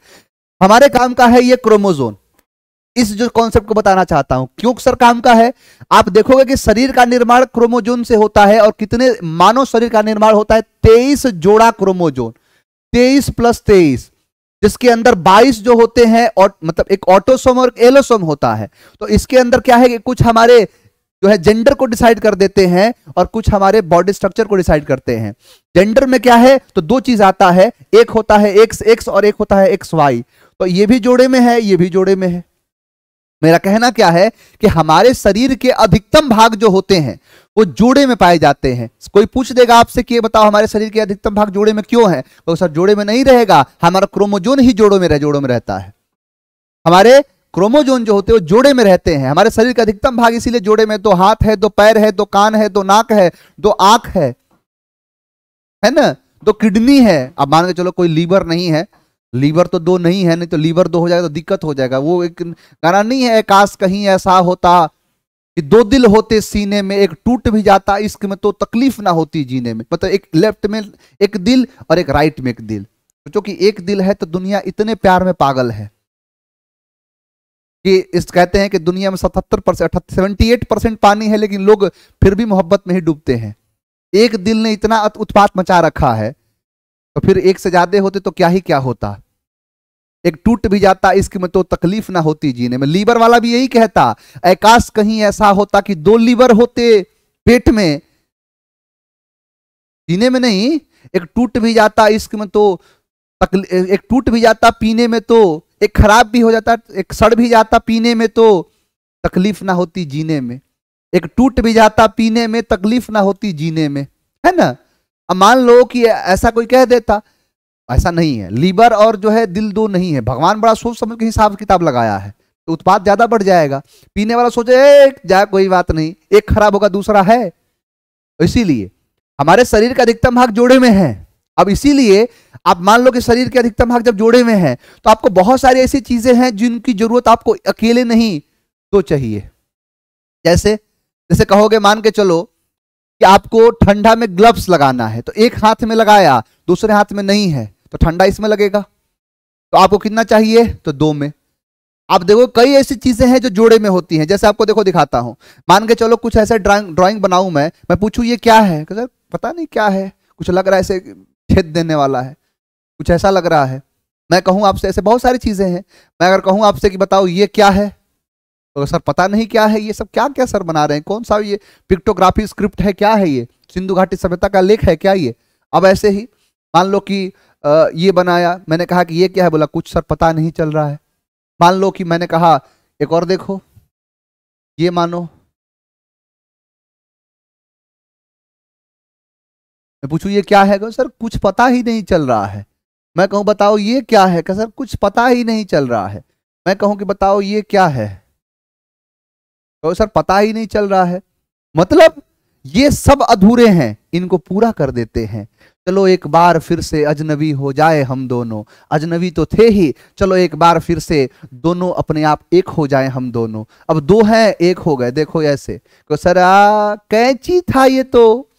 टीजर्स है, सर। मैंने कहा, ये देखो, ये ऐसे ये ऐसे, ये है क्या? चिमटा है, चिमटा। मैंने कहा, ये क्या है? तो देखो। सर, ये गॉगल्स है, चश्मा। ये चश्मा है चश्मा। मैंने कहा, जो ऐसे है सेम इसके जैसा एक और बना दिया जोड़े में। ये है, इसके जैसा सेम एक और। ये रहा, इसके जैसा एक और। सर, अब है। अब है जूता। मेरा जूता है जापानी। मैंने कहा कि पतलून इंग्लिस्तानी। ये मान लो, ऐसे है। अगर ऐसे छोड़ दूँ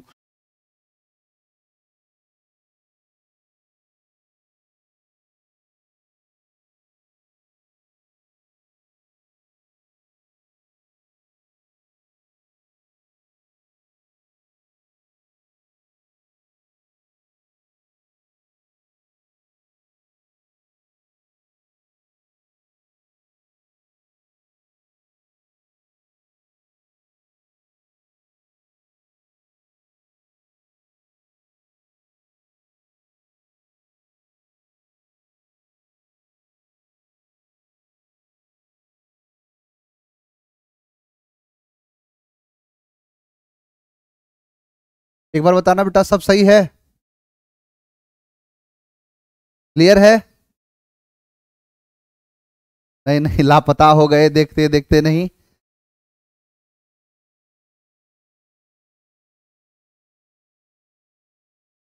एक बार बताओ क्लियर है? नज़र लग गई थी, लगता है। नहीं, देखो, हो सकता है मैं आपको पहले बता दूँ बेटा, जितने सारे बच्चे हमारे हैं, अगर मान लो कि किसी प्रकार की अचानक से कोई ग्लिच आती है तो टेक्निकल ग्लिच है तो आपको पैनिक होने की ज़रूरत नहीं है। अगर कोई भी प्रॉब्लम आती है, आप एकदम टेंशन ना लेना, थोड़ी देर में वो चीज़ रिजॉल्व हो जाएगी। चलिए, मैं एक बार फिर से सारी बातें आपको बता दूँ, ये सारी बातें मैं कर रहा था। चलिए। नहीं, अब सही है, अब क्लियर है, अब सब कुछ सही सही जा रहा है। थोड़ा सा हो जाता है कभी कभी एरर हो जाती है। बड़े बड़े शहरों में से छोटी छोटी गलतियाँ होती रहती हैं। चलो, आओ यहाँ पर। आओ देखो। देखो, मेरा कहना था कि कोई भी चीज़, अब मैं शॉर्ट में इसको इतना नहीं बताऊँगा, सीधा शॉर्ट में बता देता हूँ कि जैसे मान के चलो कैंची है तो कैंची दो चीज़ों से मिलकर बना है। टंग्स दो चीज़ों से मिलकर बना है पैंट्स दो चीज़ों से लेफ़्ट पैर का और राइट पैर का, दो अलग अलग उसके पार्ट्स हैं, हिस्से हैं।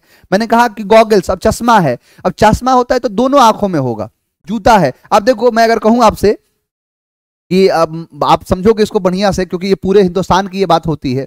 जैसे शादी होती है तो शादी में एक रसम होता है। रसम किसका है? तो जूता चुराई का। तो दूल्हे की जो सालियाँ होती हैं जूता चुराती हैं। दस बीस हज़ार का जुगाड़ हो जाता है उनका। मैं, महिलाएँ खासकर इसको ज़्यादा समझ पाएँगी।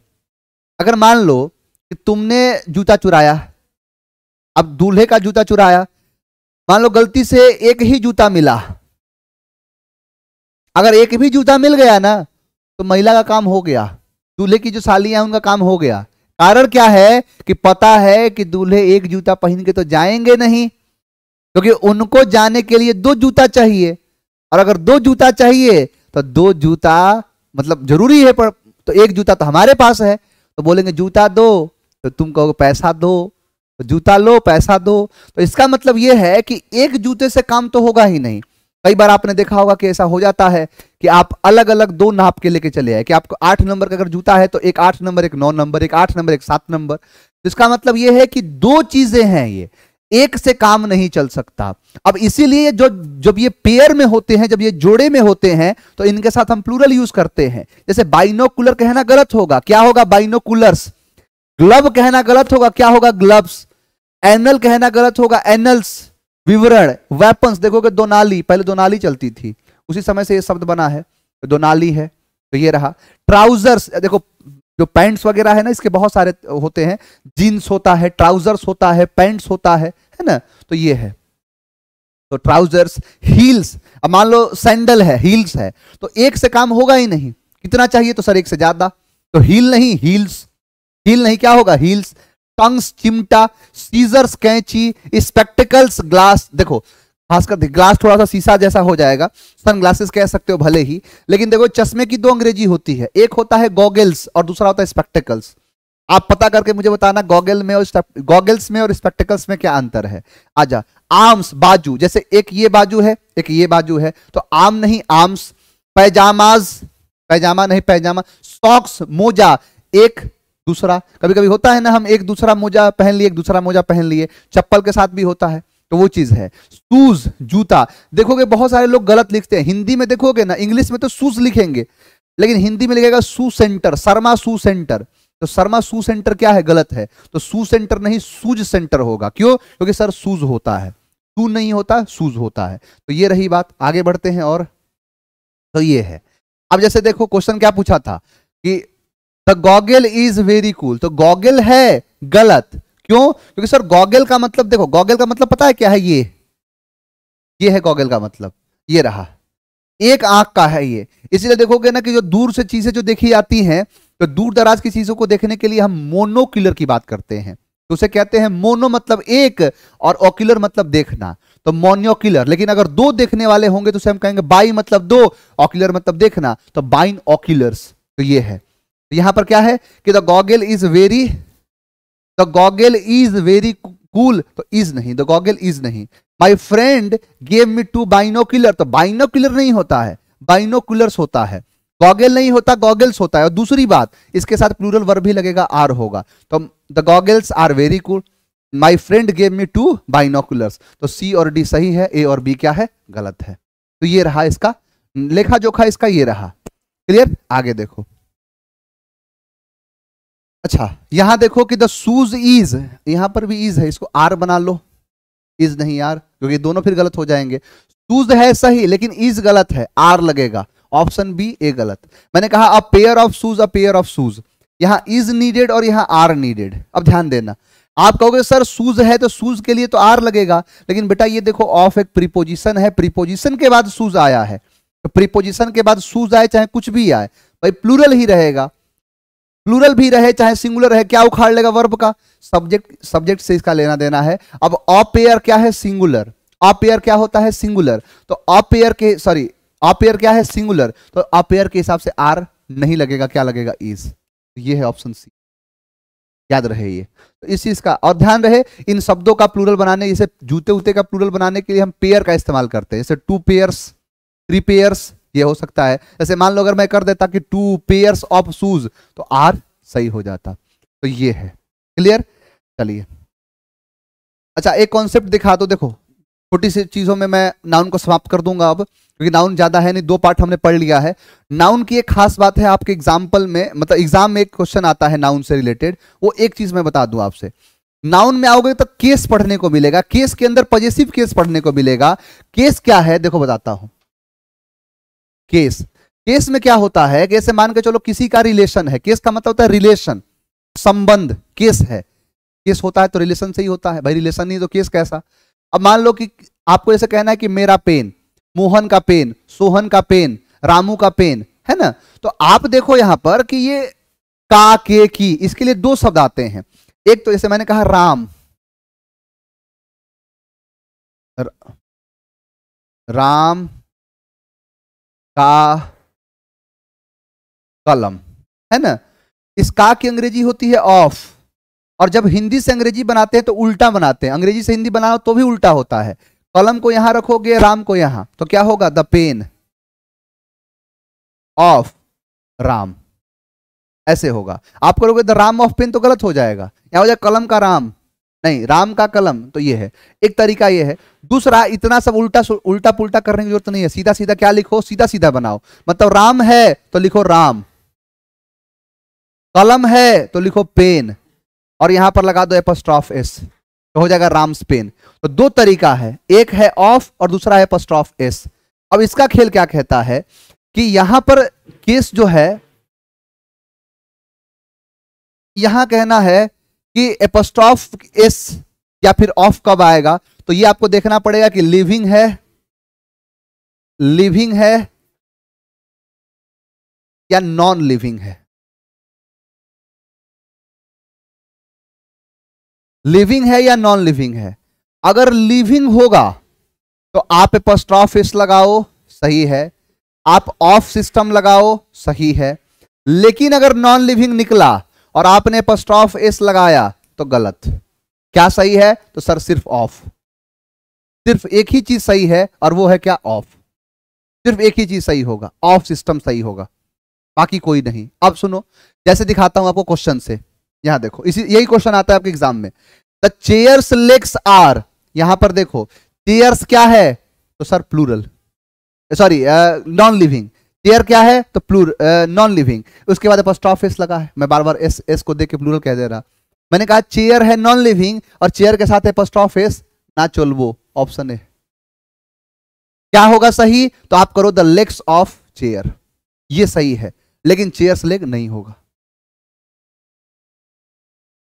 और देखो मैंने कहा टेबल्स लेग्स तो टेबल क्या है? Non living apostrophe s non living के साथ नहीं आता. क्या होगा? लेग्स इधर टेबल इधर. तो the legs of the table option होगा A the legs of the table आगे देखो.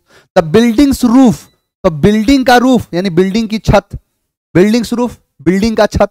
अब मैंने कहा कि एपोस्टॉफिस का प्रयोग होता ही नहीं है. क्योंकि नॉन लिविंग है, क्या होगा? The roof of the building option क्या हो जाएगा? ए ऑप्शन ए मैंने कहा द फैंस ब्लेड फ़ैन जो है नॉन लिविंग है, इसके साथ एपोस्टॉफिस नहीं आएगा। क्या आएगा? The blade of the fan option होगा ए ये है। बाकी आप ये जो चीज़ मैं पढ़ा रहा हूँ, ये आपको सिर्फ़ एग्ज़ाम में ही मतलब नहीं है इससे। आपके बोलने में भी ये काम करेगा, क्योंकि जब आप बोलोगे तो ऐसे बोल दोगे फैंस ब्लेड तो गलत होगा। सुनने वाले पर इंप्रेशन गलत जाएगा। क्योंकि फैंस ब्लेड नहीं होगा the blade of the fan होगा। समझ में आया? ये। सर एयरफोर्स की इंग्लिश आर्मी आर्मी में काम आएगी, बिल्कुल आएगी बेटा। एकदम, देखो आर्मी का सबसे टफ एग्ज़ाम जो होता है ना, अगर आप सोल्जर लेवल की बात करोगे तो वो होता है आपके, जैसे एसकेटी स्केटी का एग्ज़ाम तो क्लर्क कहा जाता है। तो क्लर्क का एग्ज़ाम होगा एसकेटी तो एसकेटी तो ट्रेड हो गया।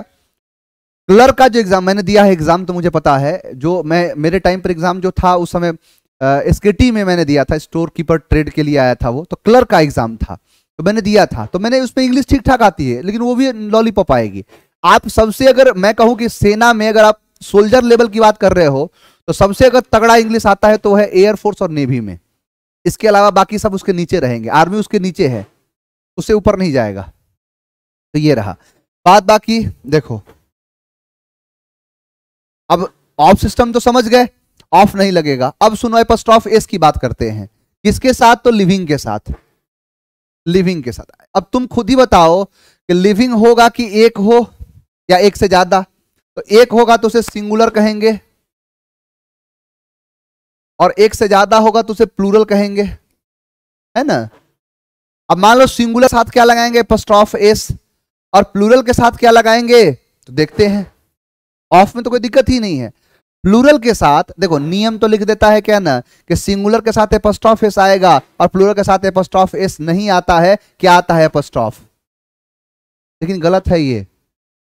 जहाँ पर, ध्यान रहे, जहाँ पर एस आता है, जैसे आप ज़्यादातर शब्द प्लूरल वाले होंगे जिसके साथ एस देखो, जैसे बॉय बॉयज़ गर्ल गर्ल्स तो आप प्लूरल वाले शब्दों के साथ एस देखोगे तो प्लूरल में आपको ज़्यादातर क्या दिखेगा, एस तो एस है तो फिर एपोस्ट्रॉप एस करोगे तो एस एस रिपीट होगा तो इसीलिए हम एस को हटा देते हैं, क्या होगा एपोस्ट्रॉप जैसे एग्ज़ाम्पल से दिखाता हूँ, देखो, मान लो कि मैंने कहा एक तो कह दिया बॉय मैंने कहा दस तो क्या कह दिया? बॉयज़ है ना? यही बात है।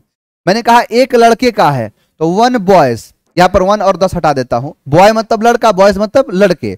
मान लो इसका पोजिशन बनाना है मतलब केस बनाना है, और इसमें एपोस्ट्रॉफ एस लगाना है। तो बॉय का जब लगाओगे तो क्या कर दोगे? बॉय एपोस्ट्रॉफ एस तो बॉयज़ ऐसे हुआ। इसका प्लूरल बनाए तो आपने कर दिया बॉय बॉयज़ एपोस्ट्रॉफ और एस किया। अब आप खुद देखो यहाँ भी एस यहाँ भी एस एस और एस रिपीट कर रहा है।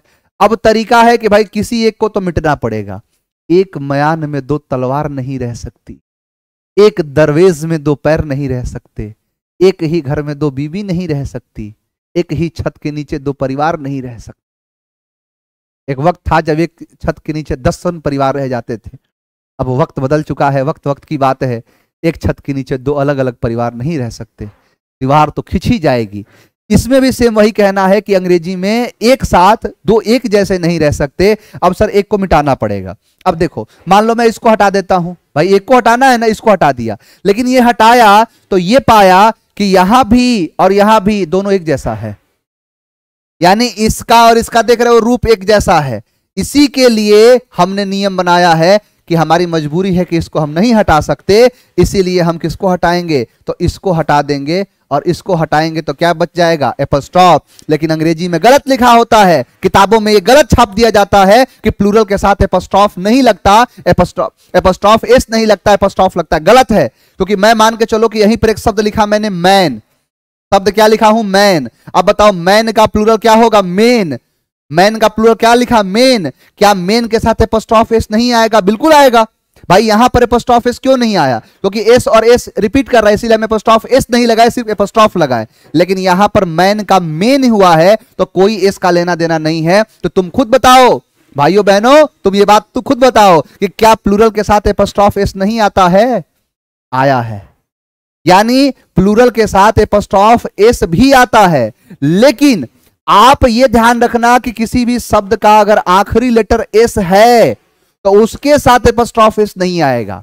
ये कि ज़्यादातर आपको कहाँ दिखता है? तो प्लूरल में। ज़्यादातर कहाँ आपको देखने को मिलेगा? प्लूरल में देखने को मिलेगा। जैसे बॉयज़ गर्ल्स बताया ना? जितने सारे शब्द हैं। या फिर आप ये भी देखोगे कि वो सारे नियम इस पर लागू होंगे। जैसे S double S S H C H X और जेड सब पर लागू होंगे। क्यों? क्योंकि सर एस एस वाला लेटर का अंतर है। एस एस वाला अंतर है बस। किताब में लिख देते हैं। क्या? कि प्लूरल के साथ एपोस्ट्रॉफिस नहीं आता है। तो काहे नहीं आता है? हम लगा कर तुम्हें दिखाएँगे। देखो, दिखा दिया। मैन ही नहीं, वुमेन का भी ले लो। वुमेन का आप लिख दोगे वीमेन। एपोस्ट्रॉफिस लगाओ। आप देखोगे, लिखा होगा मेन्स पार्लर। Women's parlour. बाकी इसमें बहुत सारे गलती करते हैं। पता है?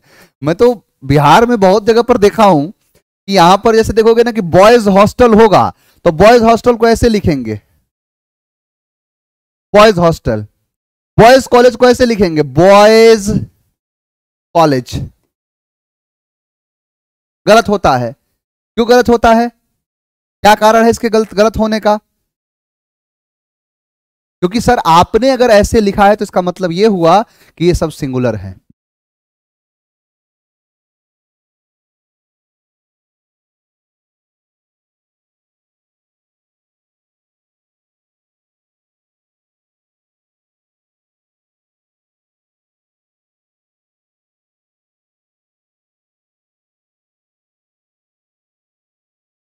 सर, अरे इसका प्लूरल कर सकते हैं? मैम एक्सेप्शन दिए यार? क्या समझ नहीं आ रहा क्या पूछ रहे हो? बेटा कर सकते हैं। ये गलत होता है। आप देखोगे कि वहाँ क्या कर देते हैं ना कि बॉयज़ कॉलेज एक बात बताओ, सुनो मेरी बात। मैं अगर नॉर्मल सी बात करूँ, ये बताओ कॉलेज का मतलब क्या होता है? भाई एक ऐसी जगह जहाँ पर बहुत सारे विद्यार्थी अपने ऊपर की पढ़ाई, स्नाकोत्तर की पढ़ाई करने जाते हैं। जो हायर एजुकेशन है, उसके लिए जाते उसे कॉलेज कहते हैं। बात तो सही है। तो क्या यहाँ पर एक लड़का जाएगा? नहीं सर तो इसका मतलब तो एक ही लड़का है। भाई, इसका मतलब क्या है? एक लड़का। तो एक लड़का तो जाएगा नहीं। एक लड़का तो जाएगा नहीं, एक से ज़्यादा लड़का जाएगा। तो फिर उसका क्या लिखना पड़ेगा? तो सर बॉयज़ एक से ज़्यादा। अब जैसे कि यहाँ पर एपोस्ट्रॉफ एस नहीं आ सकता, क्योंकि एस आया है तो सिर्फ़ क्या आएगा? तो एपोस्ट्रॉफ उसके बाद कॉलेज ये रहेगा। ऐसे लगेगा। बहुत जगह ऐसा, आप देखोगे कई जगह ऐसी गलतियाँ मिलेंगी आपको। बहुत जगह, जैसे देखो क्वेश्चन में क्या है क्या कि माई ब्रदर मेरा भाई टीचर्स पढ़ाता है इन अ बॉयज़ कॉलेज आप देखो कि यहाँ पर क्या किया है बॉयज़ इसका मतलब क्या है कि यहाँ बॉय मतलब एक है तो एक लड़का का, एक लड़का का कॉलेज भाई, कौन सा कॉलेज ऐसा है जो एक लड़के के लिए बना है? कौन सा ऐसा हॉस्टल है जो एक लड़के के लिए बना है? कौन सा? यहाँ पर देखो, हमारे संस्था के नीचे, जैसे जहाँ पर जितनी लड़कियाँ हैं, वो देखी होंगी कि आप यहाँ पर हमारे जो कोचिंग जो था ना नीचे, उसके नीचे लिखा था गर्ल्स वेटिंग रूम ऐसे गर्ल्स वेटिंग रूम उसको तोड़वा दिया गया। क्यों? क्योंकि यहाँ पर गर्ल्स का मतलब हो गया, अगर आप ऐसे लिख रहे हो ना गर्ल्स गर्ल्स का वेटिंग रूम तो इसका मतलब हो गया लड़की का, एक लड़की का है ये। मतलब एक लड़की गई, इसका मतलब कोई दूसरा नहीं जा सकता। ये है गर्ल्स। तो गर्ल्स वेटिंग रूम कैसे? अब नया देखो, ऑफ़िस अपना बन रहा है। नया ऑफ़िस होगा तो लिखा रहेगा गर्ल्स वेटिंग रूम। ऐसे लिखा होगा। समझ में आया? तो ये है। तो यहाँ पर बॉयज़ एक लड़के का कॉलेज नहीं होता है तो आपको क्या करना पड़ेगा? बॉयज़ अब एस जैसे कि लग गया है तो एपोस्टॉफ एस नहीं आएगा, लेकिन एपोस्टॉफ तो आएगा। तभी तो मतलब होगा का, के, की। तो लड़के का माई मेरा भाई पढ़ाता है एक बॉयज़ कॉलेज में तो बॉयज़ प्लूरल कॉलेज ये है। तो ये आपके कुछ क्वेश्चंस थे, इनसे था। एक मैं ट्रिक दे देता हूँ, एक ट्रिक देखो, एक ट्रिक बता देता हूँ। फिर उसके ज़्यादा आपको दिक्कत नहीं होगी। ट्रिक क्या है कि जैसे एक शब्द होता है कंपाउंड स्ट्रक्चर में आपने पढ़ा होगा, जैसे मैंने कहा father in law father in law तो फादर इन लॉ का जो प्लूरल होता है ना, वो होता है फादर्स इन लॉ लेकिन अगर फादर इन लॉ का पजेशन बनाना होगा तो ये ऐसे बनेगा। फादर इन लॉज मतलब प्लूरल बनाना है तो पहले, और एपस्टॉफ लगाना है तो बाद में। ये चीज़ याद रखना। इसी के साथ आपका नाउन जो है पूरी तरीके से समाप्त होता है। नाउन आप बहुत बढ़िया से समझे होंगे। और बढ़िया तरीके से आपने नाउन को सीखा है, बढ़िया तरीके से आपने नाउन को समझा है। आज के लिए इतना ही रखेंगे। ध्यान रहे कि मेरी संडे को भी क्लास है मतलब कल सैटरडे परसों संडे तो परसों संडे को मैं फिर आपसे मिलूँगा और मैं इस संडे को, ध्यान रहे कि मैं आपको कोई चैप्टर नहीं पढ़ाऊँगा प्रैक्टिस कराऊँगा। मतलब जितने सारे क्वेश्चन जो नाउन से पूछे गए हैं एनडीए और जो भी विगत वर्षों में जो सवाल पूछे गए हैं नाउन से रिलेटेड जो एनडीए और सीडीएस जैसे एग्ज़ाम हुए हैं इनफैक्ट सीएपीएफ के भी कुछ क्वेश्चन देख लूँगा मैं। वो क्वेश्चन आपको लेके आऊँगा और बाकी नाउन से रिलेटेड कुछ क्वेश्चन है। ज़्यादा लंबी क्लास नहीं रहेगी, छोटी सी क्लास होगी, जिसमें हम पूरा का पूरा क्वेश्चन देख लेंगे। मिनिमम जो है कम से कम पचास पचास के आसपास तो कम से कम क्वेश्चन होगा, इससे कम क्या ही होगा। चलिए तो आज के लिए इतना ही। आपसे मिलकर बहुत अच्छा लगा। मिलेंगे आपसे फिर हम परसों, और परसों फिर से हम आगे बढ़ेंगे और नई नई चीज़ों के बारे में सीखेंगे। आज के लिए इतना ही। आप मन लगा के पढ़ते रहे, हँसते रहे, मुस्कुराते रहे, और आने वाले होली जो है आनंद उठाएँगे, इस बार जो होली है, वो एकदम बढ़िया तरीके से मनाएँगे। क्यों? ज्ञान के साथ मनाएँगे। चलिए, और बाकी जितने सारे हमारे टाबर हैं, सब आज तो आईपीएल तो देखेंगे ही। तो कीप सपोर्टिंग आप जो है सपोर्ट करें अपने, जो भी आप प्लेयर्स को, जो भी अपने टीम को, भाई सपोर्ट तो करेंगे ही। चलिए तो थैंक यू वेरी मच मिलते हैं आपसे परसों की क्लास में, कल नहीं, परसों। तो आप मन लगा के पढ़ते रहिए। जय हिंद।